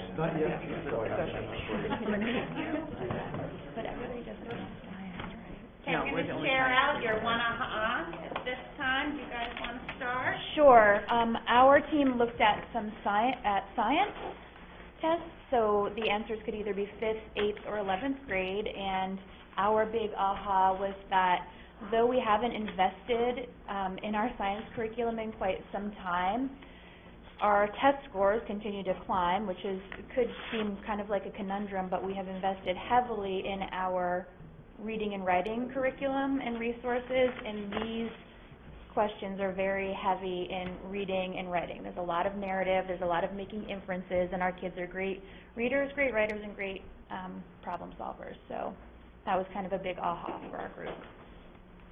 Yeah. Our, um, we had math, and again, our answers were obviously fifth, eighth, and eleventh.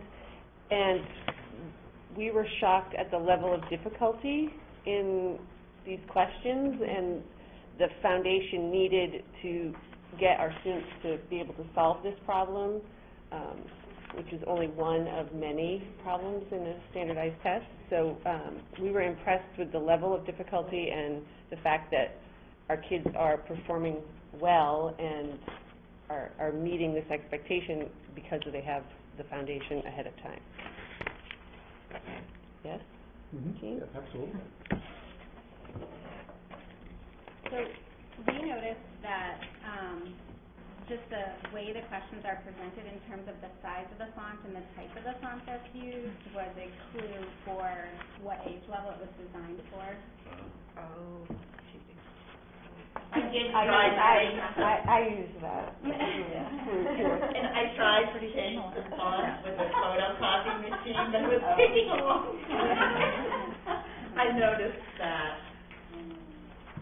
But additionally, that the, the skills are very complex, the mathematics skills are very complex, that the students are expected um, to know and do, and use really academic technical vocabulary even early on. You guys one group, or did you have a different aha at your? They were Oh, separate. we were, we were separate groups.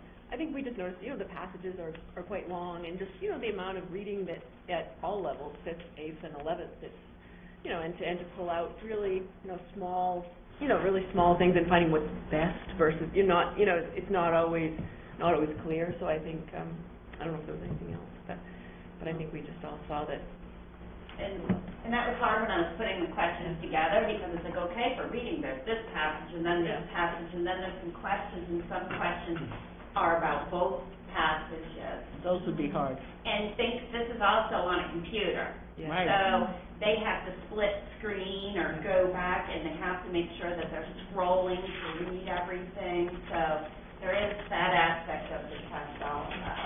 Uh-huh. So, um, you know, even though the kids, um, are taking this, for example, as a reading test, it's about science. And just to go back to what Kelly said, schools, particularly K-5, don't throw a lot of money or a lot of time into science because they don't have the time they need to do it and accomplish good reading skills and good math skills. So they end up, even though we've already kicked them, whatever else, to- and tell them they need to do X number of minutes every week, they still end up doing the reading portion. And, you know, I, just looking at this particular piece, it amazes me that at least fifty percent of our kids don't say, I'm not coming to school those days, because I'm not taking the test.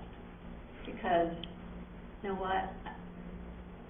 I won't say this, but, I mean, I've been frustrated by statewide testing for a lot of years, and frustrated with the amount of money that gets spent on the kind of testing. If you want to know how your kid is doing, go have a conversation with the teacher, and you probably already know how your kid is doing. We don't have to spend this kind of money on testing. I'm sorry, I could get off on this for a long time, but our aha was that the questions don't necessarily mean that even though those kids studied maybe that particular topic in science or exposed to it, it doesn't mean they have the in-depth knowledge to answer the questions, the kind of questions that are being asked. Another aha we had was, um, a lot of times, this material may have been covered and in-depth, but the way the questions are asked on standardized tests aren't always how students are assessed in the classroom.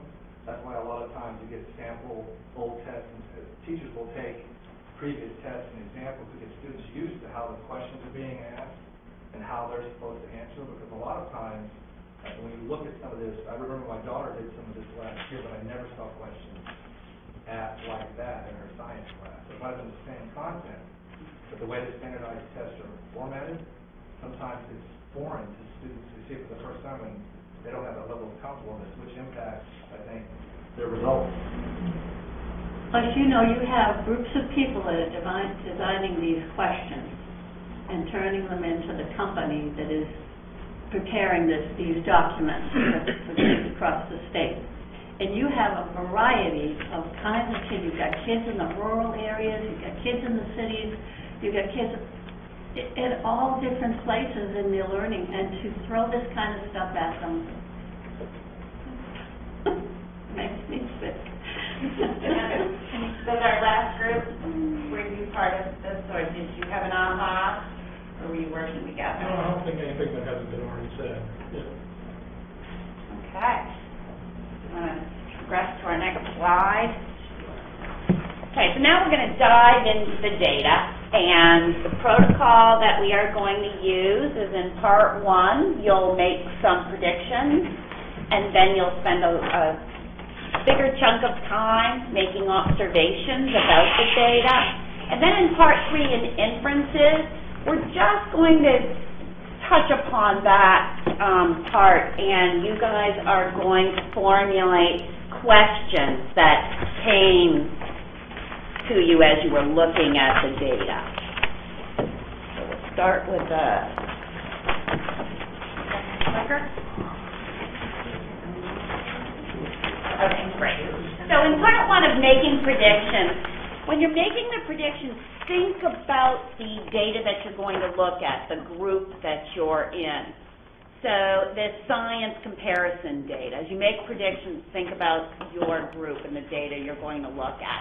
And just some possible sentence starters are, you know, I assume, I predict, I wonder. And then after you take a few minutes to make predictions, you'll talk amongst your group about what you were thinking you'd see. And we- this is just a couple minute activity. And I passed out a note card for you to make your predictions on.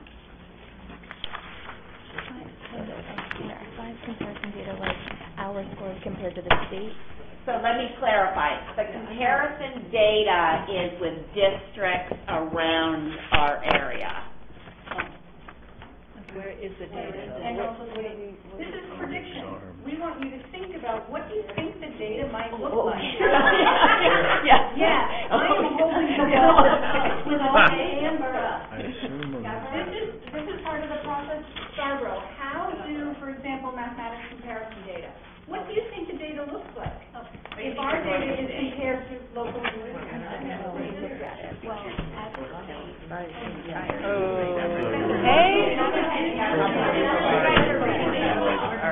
even our aspirational level, science are pretty low level, right? Higher than the state average. State average. Same group of kids, you know, if you didn't have any knowledge of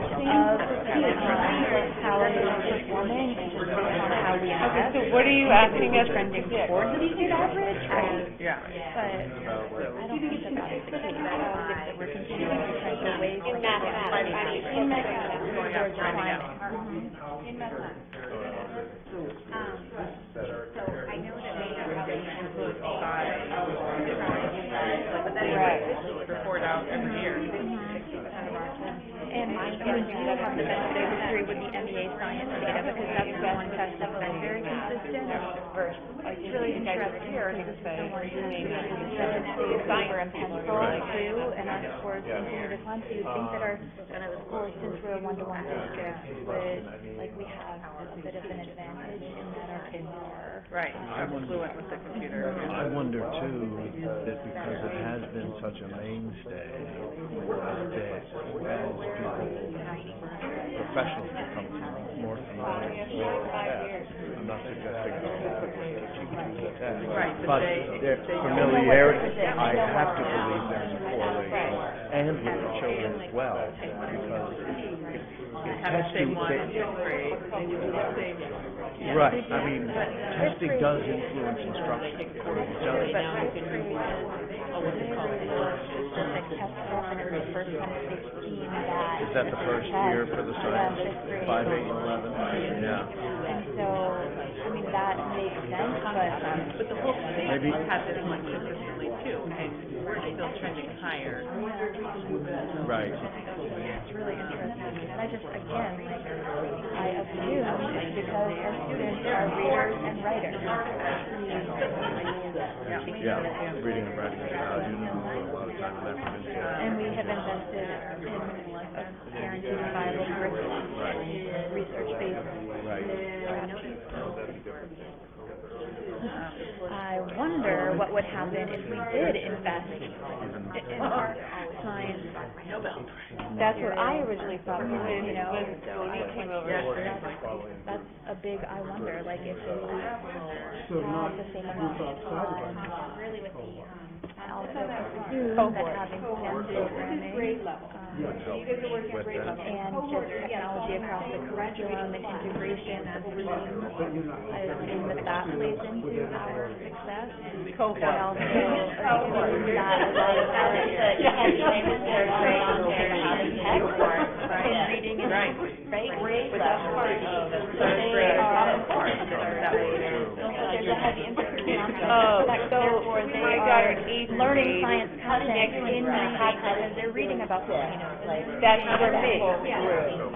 But this one is, how did you do the last year's eighth graders? So we look at, so it improves grade scores over time. When we Gotcha. implement a new curriculum, we want to see that They're doing their That tells us it's not just humanities classes, it's they're doing research and Gotcha. history of So we look at things like that. So they are tying it Tells us in different every. things. Yeah, so we look at it really in Maine three Math ways. Science? We look Yeah. at how does the third graders You'll provide and how does the one group, What's one device? do? Right. Are they, are they growing their For skills? school that size, it's so, and you would think that. So that would ours, is it BYO? That is And it's fairly little, steady. You know, there's little classes, but I find that maybe they just are all kind of. You know, so they. Personal, they personally personalize know- their own. Right, so Oh, they, they yeah. would want to put it on faculty or. For next year. But I found that to be very. A little bit interesting. I think that they're doing well in our, uh, It's a public initially, because teachers are familiarized as well, right? on how they're gonna- Some possibilities for learning. Okay, now that you have your prediction, now that a moment to think about the data and what it might look like, we're gonna jump into a stage called observation. And very often what happens is, people will make observations like, oh, they did well. Not an observation. We're gonna talk a little bit about what an observation is. Or, we don't stay in the observation stage long enough to really dive deep and look at it from multiple perspectives. We make one observation and we jump into wonders, or inferencing, or conclusions. And part of this process around the data analysis piece is to be very careful about how we're viewing the data. Sure. So I'd like you to take a look at this slide, and we also gave you in your handout, this is an example of some actual data. The, and the data is ELA literacy data. The graduating class is the class of 2024. And what you have on this chart is As fourth graders, they took the MEA in the year 2016, and then in 2017, they were fifth graders. And so it's following the same group of kids over time. The red means that that is the percentage of students who were well below state expectations.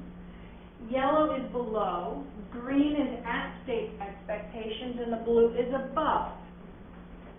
So there are a couple of examples of an observation. An observation might be 3% fewer students were above state expectations as fifth graders compared to fourth grade. It's factual. Inference is students in 2017 had a better breakfast that morning. Okay? We don't know what they had for breakfast. We don't have the data. That data isn't telling us that. It's not an observation. And there's another example around more students overall were at or above as fifth graders. And then in inference, low-performing students moved into the fifth grade that year. So that gives you a little bit of an ex- a, couple of examples of what we mean by observation. So what we would like you to do have some actual data here in a folder. And one of your colleagues in your group will go to that link or have that link and start recording, but what we would like you to do, and this is Chris's, is take a look in the folder. There are lots of charts and graphs in the folder. And what we'd like you to do, are you four? Sorry. We're four. I'd like you to do is start poking around with this data, take a look at it, and begin to craft observations. This information will go into a Google Doc, we'll compile it and share it with you. Uh, and we're gonna take the next step in terms of beginning to make some inferences, and that will inform our work around this data. So remember, as you look at the data and make sense of the charts in your group, we want just the facts. List the observations. Questions?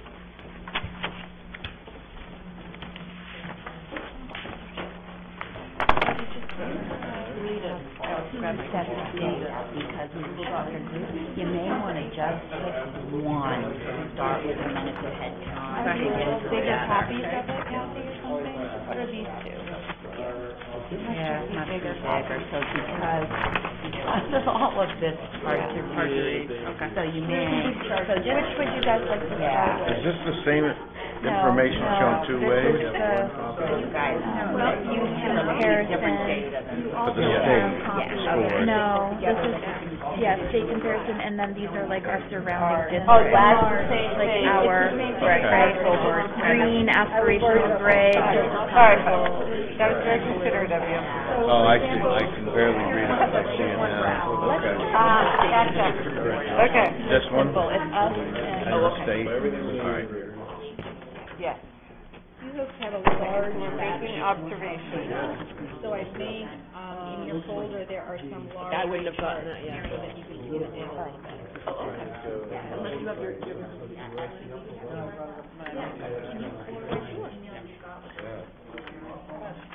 Or it was Vermont people, not, not just like below school. Is that what's in your hand? yeah, these are the large charts, yeah, large charts. I know, I needed like charts. Hi, Ben. I'm Kelly Crosby. Yeah, I think, I talked to your siblings, I believe. My brother Nate and Kelsey, yeah. Greg, I'll- my favorite my chart. What is it called? I couldn't think. Uh, he just handed away the bigger. The big version, The big visual So version. he'll be our translator. we Yeah, right, if we can't read it. So let's start with the state comparison data. So we already made our predictions, right? Something wrong with that right So for the. And so now we're making Yeah. great observations. So one of our predictions for state science comparison, the state would be higher than the public. That was Third graders. So we observed that, so this first chart is fifth grade, Okay. right? This is All right, fifth, fifth grade. then eighth, then And then, eleven. so it's not really And it's every year. So No. we can observe that for all three grades, They were third graders. our chart local data They is don't have higher. data from before. They Gotcha. don't have anything to compare. Wow. And then you go here, So that's this the years. is grade, Um, they were grade I think four. that's the number of students who Oh, so the current fifth graders. Um, no, it can't, Probably no, it's at or When they were above third, proficient. Percent is at or they were above seventh, Yeah, so that's a this is now percentage. fifth, so we'll get their fifth So they'll be grade. up- grade For example, in now. twenty So eleven, it- Yeah, percentage our of students kids that are above in proficient. fifth grade were Okay. twenty-five percent higher than the state average. State average. That would Was be there an an or an observation. decrease in, in the amount of at or above? I just figured that could be our standard. Yeah, so our, our observation that is, grade as four well as our prediction that we are Correct. higher than the state Right, average. so there's And a that's decrease consistent in at or above, for six years but we running. moved more out of the grade Well, twelve that- below. Yeah, and even using percent. You know, it's interesting to me, like, are we at the, uh, I observed that, some patterns I noticed, I'm surprised that, all right, I'll wait till we get to that. And we just like Yeah. sort of write it on here?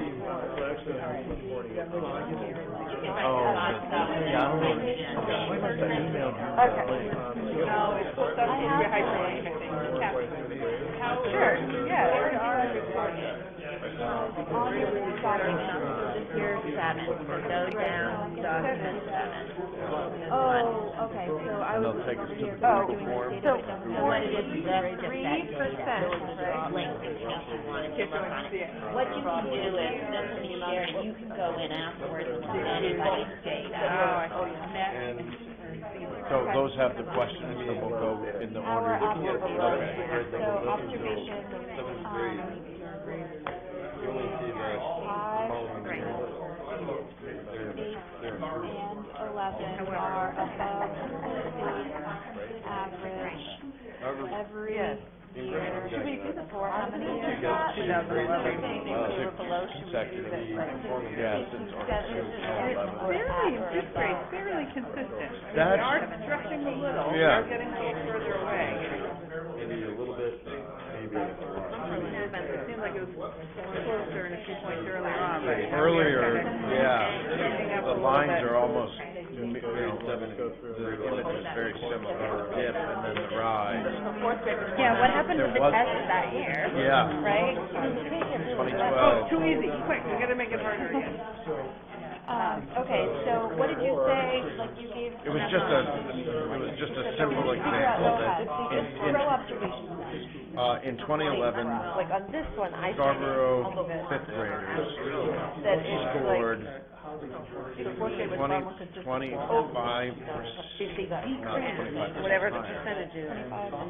Our fifth graders at or above state expectations. were at or above, at or above proficiency, right? At or above proficiency compared to the state average. Seventy-one percent. Right. Twenty-five percent more of our kids scored that.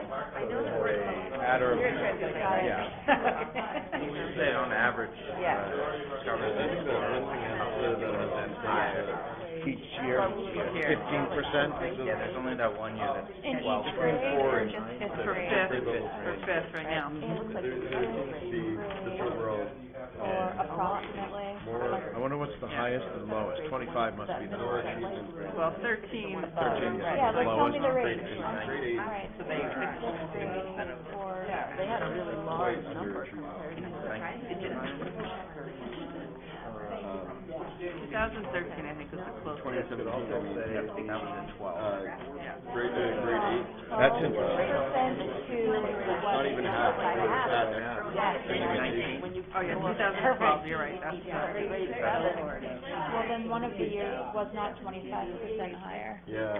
did you take a last? Right, twenty eleven, I- I took it- twenty-five. I took Okay. it last year and. I'm sorry, fifteen. Twenty-five. Yeah. Sorry. Yeah, so I'll be. You're absolutely right. Twelve, Fifteen, twelve, Six, six, I think sixteen. thirteen. twelve to sixteen. Either way, I think that another thing that has to be kept in mind. Oh, no, sorry, nineteen, nineteen, I ended up counting they were nineteen.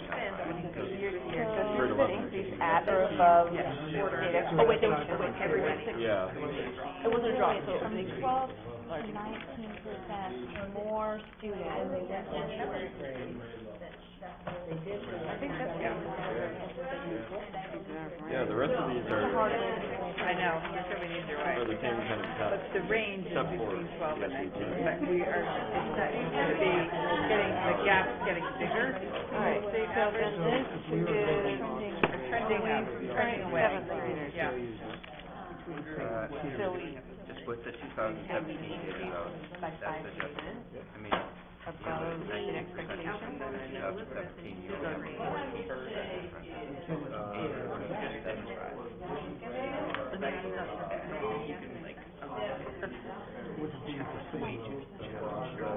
You have a nineteen percent difference between, you have an eighty-two percent and a sixty-three percent. overall. The Stay gap close to the gap just little by bit. five points, Yeah, five points. which is the biggest, What's the biggest jump? Well, the biggest closure, right? oh, no, but Fifteen, for. twelve, thirteen, seventeen, eighteen, nineteen. It's really herky jerky though. It Like is. they're up or they're down. There's no gradual Right. direction either way. Right. Even ours, right, I mean, it's Look gonna that. and then, so, they're, they're not Since too about thousand the, fourteen, grade, you know, almost one point test thirty year. I don't know, difficult or, You know, shooting have that consistency. I, I don't know why. Yeah, but it's trending up. Which supports your earlier. It seems like compared to other, About the time grade that we adopted the new eighth graders taking that test, no kidding, which further supports your, our original AHA. That was like the pilot year. No We weren't at or above. Wow. Right? Is that And then- this is our third, no. What year did we get the new reading curriculum? Fifteen, um, there were people piloting in fourteen, they were adopting in sixteen. Third, third full year. Oh, I have that. Yeah, so this is our third full year. Third full year. Is that And then K eight? those that are K, five. K Started with That little kid, you're like, oh. What were you saying, fifteen percent Now, did you go below? Yes. Two thousand eleven. Yeah. So I, I'm, I'm worried that I'm gonna see my data. Yeah, you totally are, almost, almost. All right, yeah, we should move on to another. Grade eight. Another grade level? Grade eight has been less consistent for us. Especially with the. Yeah, that's interesting that we go, that was a good one, fifty-nine and there's forty-seven, and you can back up your numbers. Give me some observations about grade eight. Scarborough's results are less consistent, less predictable from year to year. Are less. Wider range. Yeah. The state has been pretty level, which is different. For eighth grade, the state's been pretty level. Seventy-one, Yes, seventy-two, you're exactly seventy-three, right. seventy-one, they're pretty, they're pretty level, but Scarborough's A lot kind of up and eighties, down. something. grade eight, some of the school results have a wider range of statements. So, I think I'm gonna get where my. What happened in twenty thirteen and twenty fifteen, right? I mean, that's a pretty significant image. That's a, I mean, twelve to seven, back to twelve, down to Do they five, take these in the up fall or to the twelve, spring? or to Spring of, seven are Yeah. either improving or It's really like you know, this is my kid's. And then what happened, what happened in twenty seventeen, right? That's a big jump. Weird, this is Jordan's class. Uh, seven, seven are either consistent or. No, but she was, that's two eighth grade this year, yeah. So, our kids are doing all right. And then tenth graders, we don't have any. Yeah, I don't know, two thousand fifteen. That. There's a pattern we could We're right, we're right along this kind of yeah. We're very close. Right, what's So two thousand thirteen as well. I wonder if something changed in the test. Right. Uh, didn't do as well. It's an excellent, I mean, that would be a, I mean, that is sort of surprising That to or see that dramatic drop. But then quickly bouncing back up to where it was the year before and then dropping again. We and could bouncing. say that, we could say that from true. two thousand sixteen, That's really the eighth grade is The trending overall away, is growth. trending up from the level. Yeah, we are, we are improving. Grade Regained our two thousand fourteen data. Even increase from state, Yeah, right, so they would start going down a little bit. And that's, that's pretty significant if by the state is twelve fifteen. Four points. And what is that, what is that, sixty-nine to eighty-six percent? Yeah. Yeah. No, it's, it's, no, it's probably good for me to try and do this. Thank you. Or all kinds of. Either way, I already need trifocal, so. All right, do you want to do one more on. observation about the? Are we doing a good job? We could say twenty, That was thirty, out fifteen, or. Something, yeah, that would be, yeah. What, That's it, that's an imprint, but twenty It thirteen is, and it is. twenty fifteen were dipped. I put it as what, one. what fascinates me too is that it was, a- and each of, the twelve, the differential, twelve, seven, twelve, five, twelve. Each time we bounced back, it was exactly the same number. Grade eight. If you could wrap up your observations, I don't know what that So means. grade five and grade eleven sort of mirror the, tr- the to change just that report was one but observation it's a based little on their less data that they have. significant in grade eleven. But if you look at grade five, we Who would kind of like to are go like. first? Uh, we can go first. So, uh, one observation we had was there was a twenty-two percent increase in students at or above expectation for the year of graduation twenty twenty-two. Thank you. Thanks. Yes, grades five, eight, and eleven have all been above the state average every year since two thousand eleven. So six Thank you. consecutive years. Thomas or Dave? We noticed that uh, there was some significant growth in math grades three through seven as we compared them from year to year. Thank you.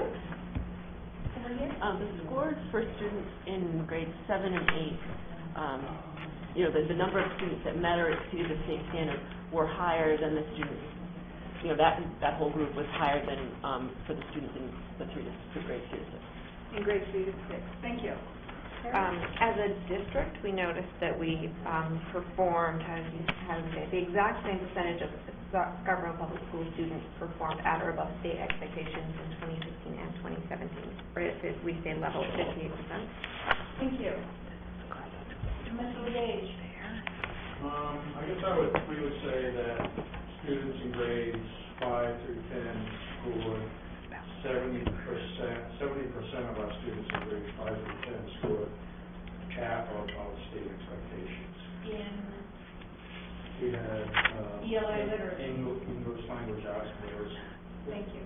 Screech? Overall data for grades five, eight, and eleven, we observed that Scarborough was twenty-one percent higher in two thousand sixteen and two thousand seventeen than the state average. Scarborough scored higher than all the comparable communities based on demographics, and Scarborough scored similar to three of the five communities we aspire to. Thank you so much.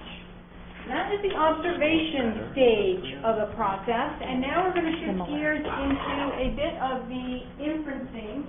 Turn it over to Kathy. And- Go ahead. So, one of, the real value in looking at this kind of data is that it inspires questions. So, we're asking that you now, after you've analyzed this data, and I know you only had fifteen minutes to analyze it, but what questions surfaced as you review, reviewed your observations? And the questions that you write down, these are questions that will help us guide our direction as we continue to work through this process make recommendations for change. So if you would, have a conversation at your tables, generate some questions, and record those on that paper. My biggest question is, uh, why does, like, this aspect for above average numbers drop so much in grade eleven from grade eight? Going on Go with from, the, uh, they were saying comparative grade eight. percent from grade five to eight, and all of a sudden at grade eleven, we're down into sixty-eight, sixty-four percent. I think the state also dropped. It also happens, right. Yeah, so what does it say about the test? Because that's really Could- similar Yep, all the way across, like we've maintained the same. yep, the gap, I guess, yeah, ninety percent. So everyone's experienced it one, or you could make the For assumption. six years. Right, running. It's been significant. Right. For six years. So like the eighth graders, the eighth graders now, they got fifth grade, how they But why, but why? There, it's clear that Yeah. we, students, we had this. right, Statewide. statewide, students Right. per- did not perform as well as juniors, Right. right? Something like that. Why did they not perform Why as well as is there juniors? a, that statewide, almost twenty percent drop? What, what measure? In proficiency? No, this one's the one that's consistent. We only Yeah, it's the science augmentation Yeah, that every referred to other as- subject area just has been changed almost yearly, the last few years. This one's been consistent. Right. So this is the same company that Um, put together. That's really interesting though. Yeah, so that's one point. What other questions? So this, as you Torch were is making, from- I don't know if this is for actually- ours or I don't know. Overall, but like like other- I don't know. tested out, or they just, other towns, that's what I'm saying, like, they're just Yeah, stress Do you think there tends to be a region between Not our curriculum. higher level classes and kids like maybe by eleventh grade or just like Not even taking not taking science at all. I was just gonna say, we don't require three years, Right, so so they it's could be- conceivable that you're taking the year, you may not even have You a might not have a science science. in junior year. Right. Or admit you may have not had one in sophomore year and you go in to take the test, of course the test. Like you may decide to not take a, a Either like way, chemistry or correct. something, and then a lot of the tests has chemistry on. And you Whereas- aren't taking it till next year or something. Whereas in eighth, eighth grade, there may Everyone's be the same curriculum. generalized Yep. science, whereas it gets more stratified specific to science areas At as would juniors. it be paper We're also looking for a One of the trend, questions Does that Curriculum certainly impact? And we can only do it from fifth to eighth or eighth to eleventh. Okay. Graduating class years. Oh, I see what you're saying. So, like the class Looking at of the grade five. Oh. twenty twenty of fifth grade is one of the higher points. They're eighty-three. And then when you look at their eighth grade, yeah, their eighth grade, they're up to eighty-five percent above proficiency. And there aren't juniors yet, but then, if- but if you looked at, Right, yes, it does. I would assume that would make a, Um, a difference. trying to find the correlating ones from eighth Like if you eleven. followed one class all the way Right, through, like how- what would that look like? Wait, twenty twelve, you can do it all the way through? No, no. Or not all the way through, like, if you look at twenty twelve, you see that, you know, seventy-five, they're one of the lowest scoring in the. And then, what, they're fifteen in the eighth grade data, and that's one of the lowest. We talked about, And then um, sixty-three, how when they're almost everybody. in their eleventh grade, the the twenty same classes, or Eight, nine, ten, eleven. So, no, so like class of two thousand sixteen, you can look at for eighth and eleventh. So they were at eighty-four, and then they went to sixty-three. That's consistent, right. Oh, you're not looking at the year they took the exam, you're No, I'm thinking at the graduation. graduating class. Okay. So twenty, the gra- class of twenty seventeen was seventy-two percent eighth grade, and they went to sixty-six. It's like a drop. Yeah, they're graduating. No, that's not their class year, that's the year that they get. Right, right, You right. have to, like, do the math. did the math She's, to she's doing some math in her head that's giving her a different date, right? Yeah. Yeah, So I'm just like, this is the, when the class of twenty First go around and we're making were eighth. We're like, I wonder why that Eighty-five percent of them were above We want to try and capture those. And then, So then if you look, like I just figured out where they were on this, it was in two thousand thirteen, there were eighty-three percent. Uh, So only two percent difference. Yeah, So that's they were consistent. consistent. Whereas other, if you were to follow that through with every Right. graduating class, what would that look like? Two thousand eighteen is on all the charts. It was, they were eighty percent, and then eighty-five percent, and then sixty-four percent. So that That's follows the trend, that they're all up here, and then something happens.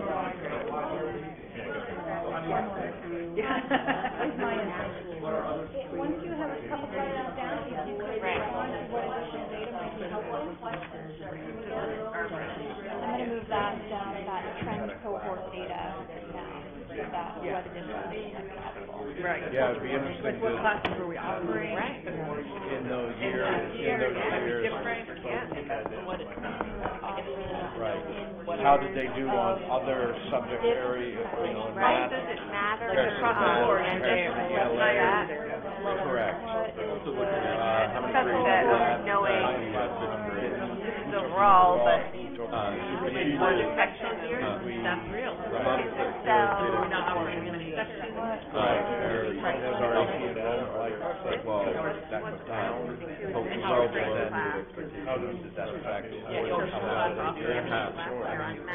Not as many kids. were in them. And, get and math, I think math The- would be related. Well, when you get into chem, when you get into physics and chem, Yeah, that's math. they're, like, so what, what was available for math, like, what were Reading, reading, Absolutely. Yeah. So every, every subject area, even though the very distinct, they then zero, like, how does each cohort of kids? Right. Uh, reading and writing, is there some sort of basic, basics that not teaching in good time? Okay, we'll, we'll wrap up, we'll wrap up this part of the activity. Reading and writing to be able to read a question like that. Will we clap? Figure Yeah. out what's important. Yeah.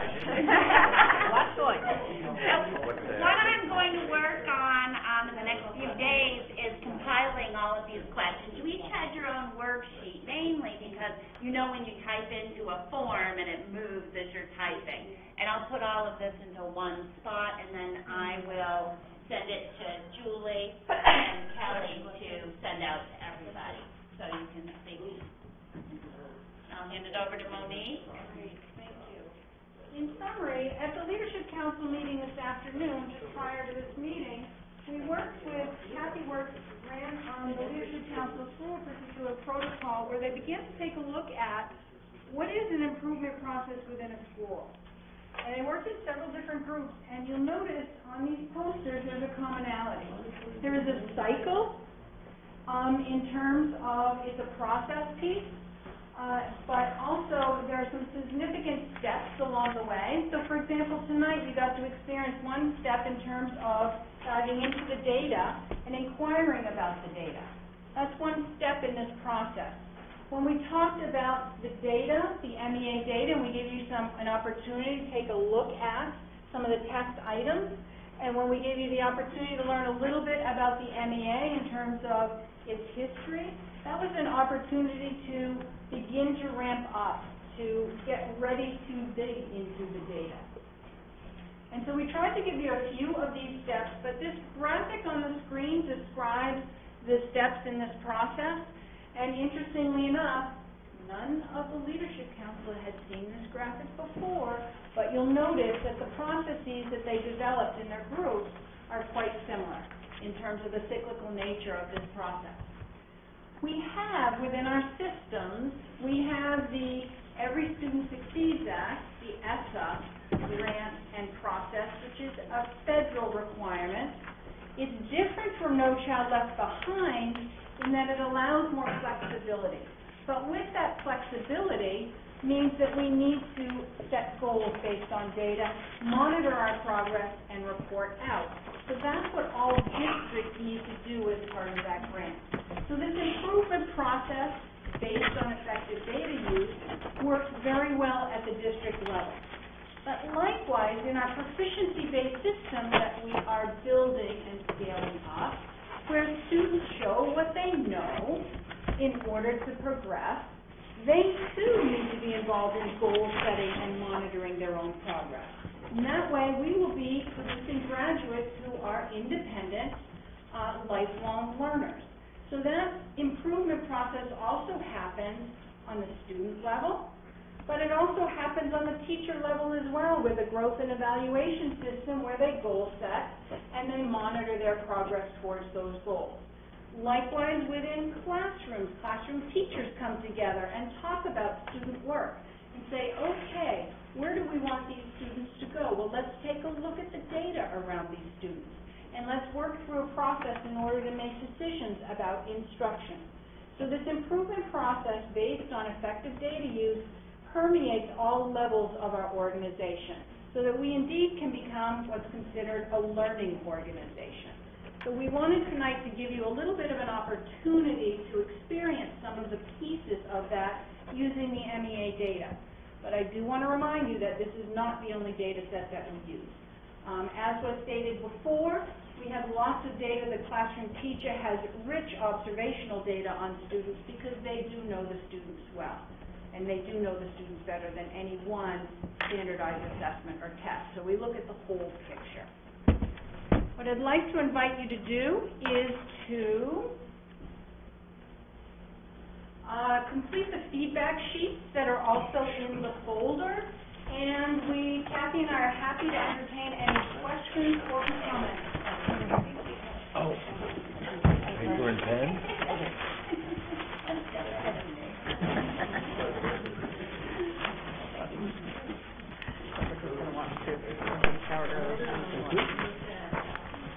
Um, I will turn mine over to you and I will give my feedback. Oh, no, no, I, I have awful handwriting. Oh, that's right. Um, I came from a generation where all you did was type.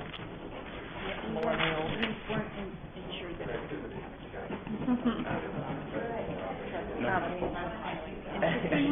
I just want to point out from, you know, because I was following the class of 2018, the districts who bucked the trend and who are staying up in 11th grade, Brunswick, Falmouth, Cape Elizabeth, Yarmouth, RSU 51, I wrote. Um, Who? And those are aspirational.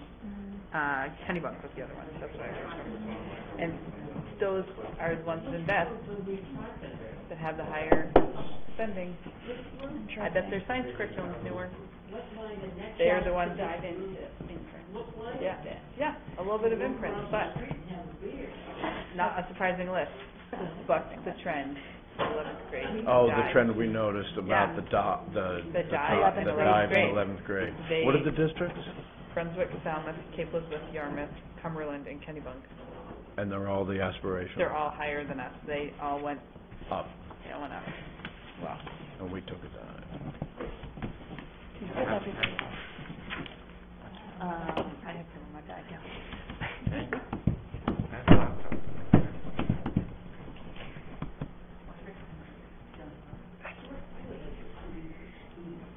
Greg's gonna do his real quick and then we can let you use his pen. Oh, we can all have a community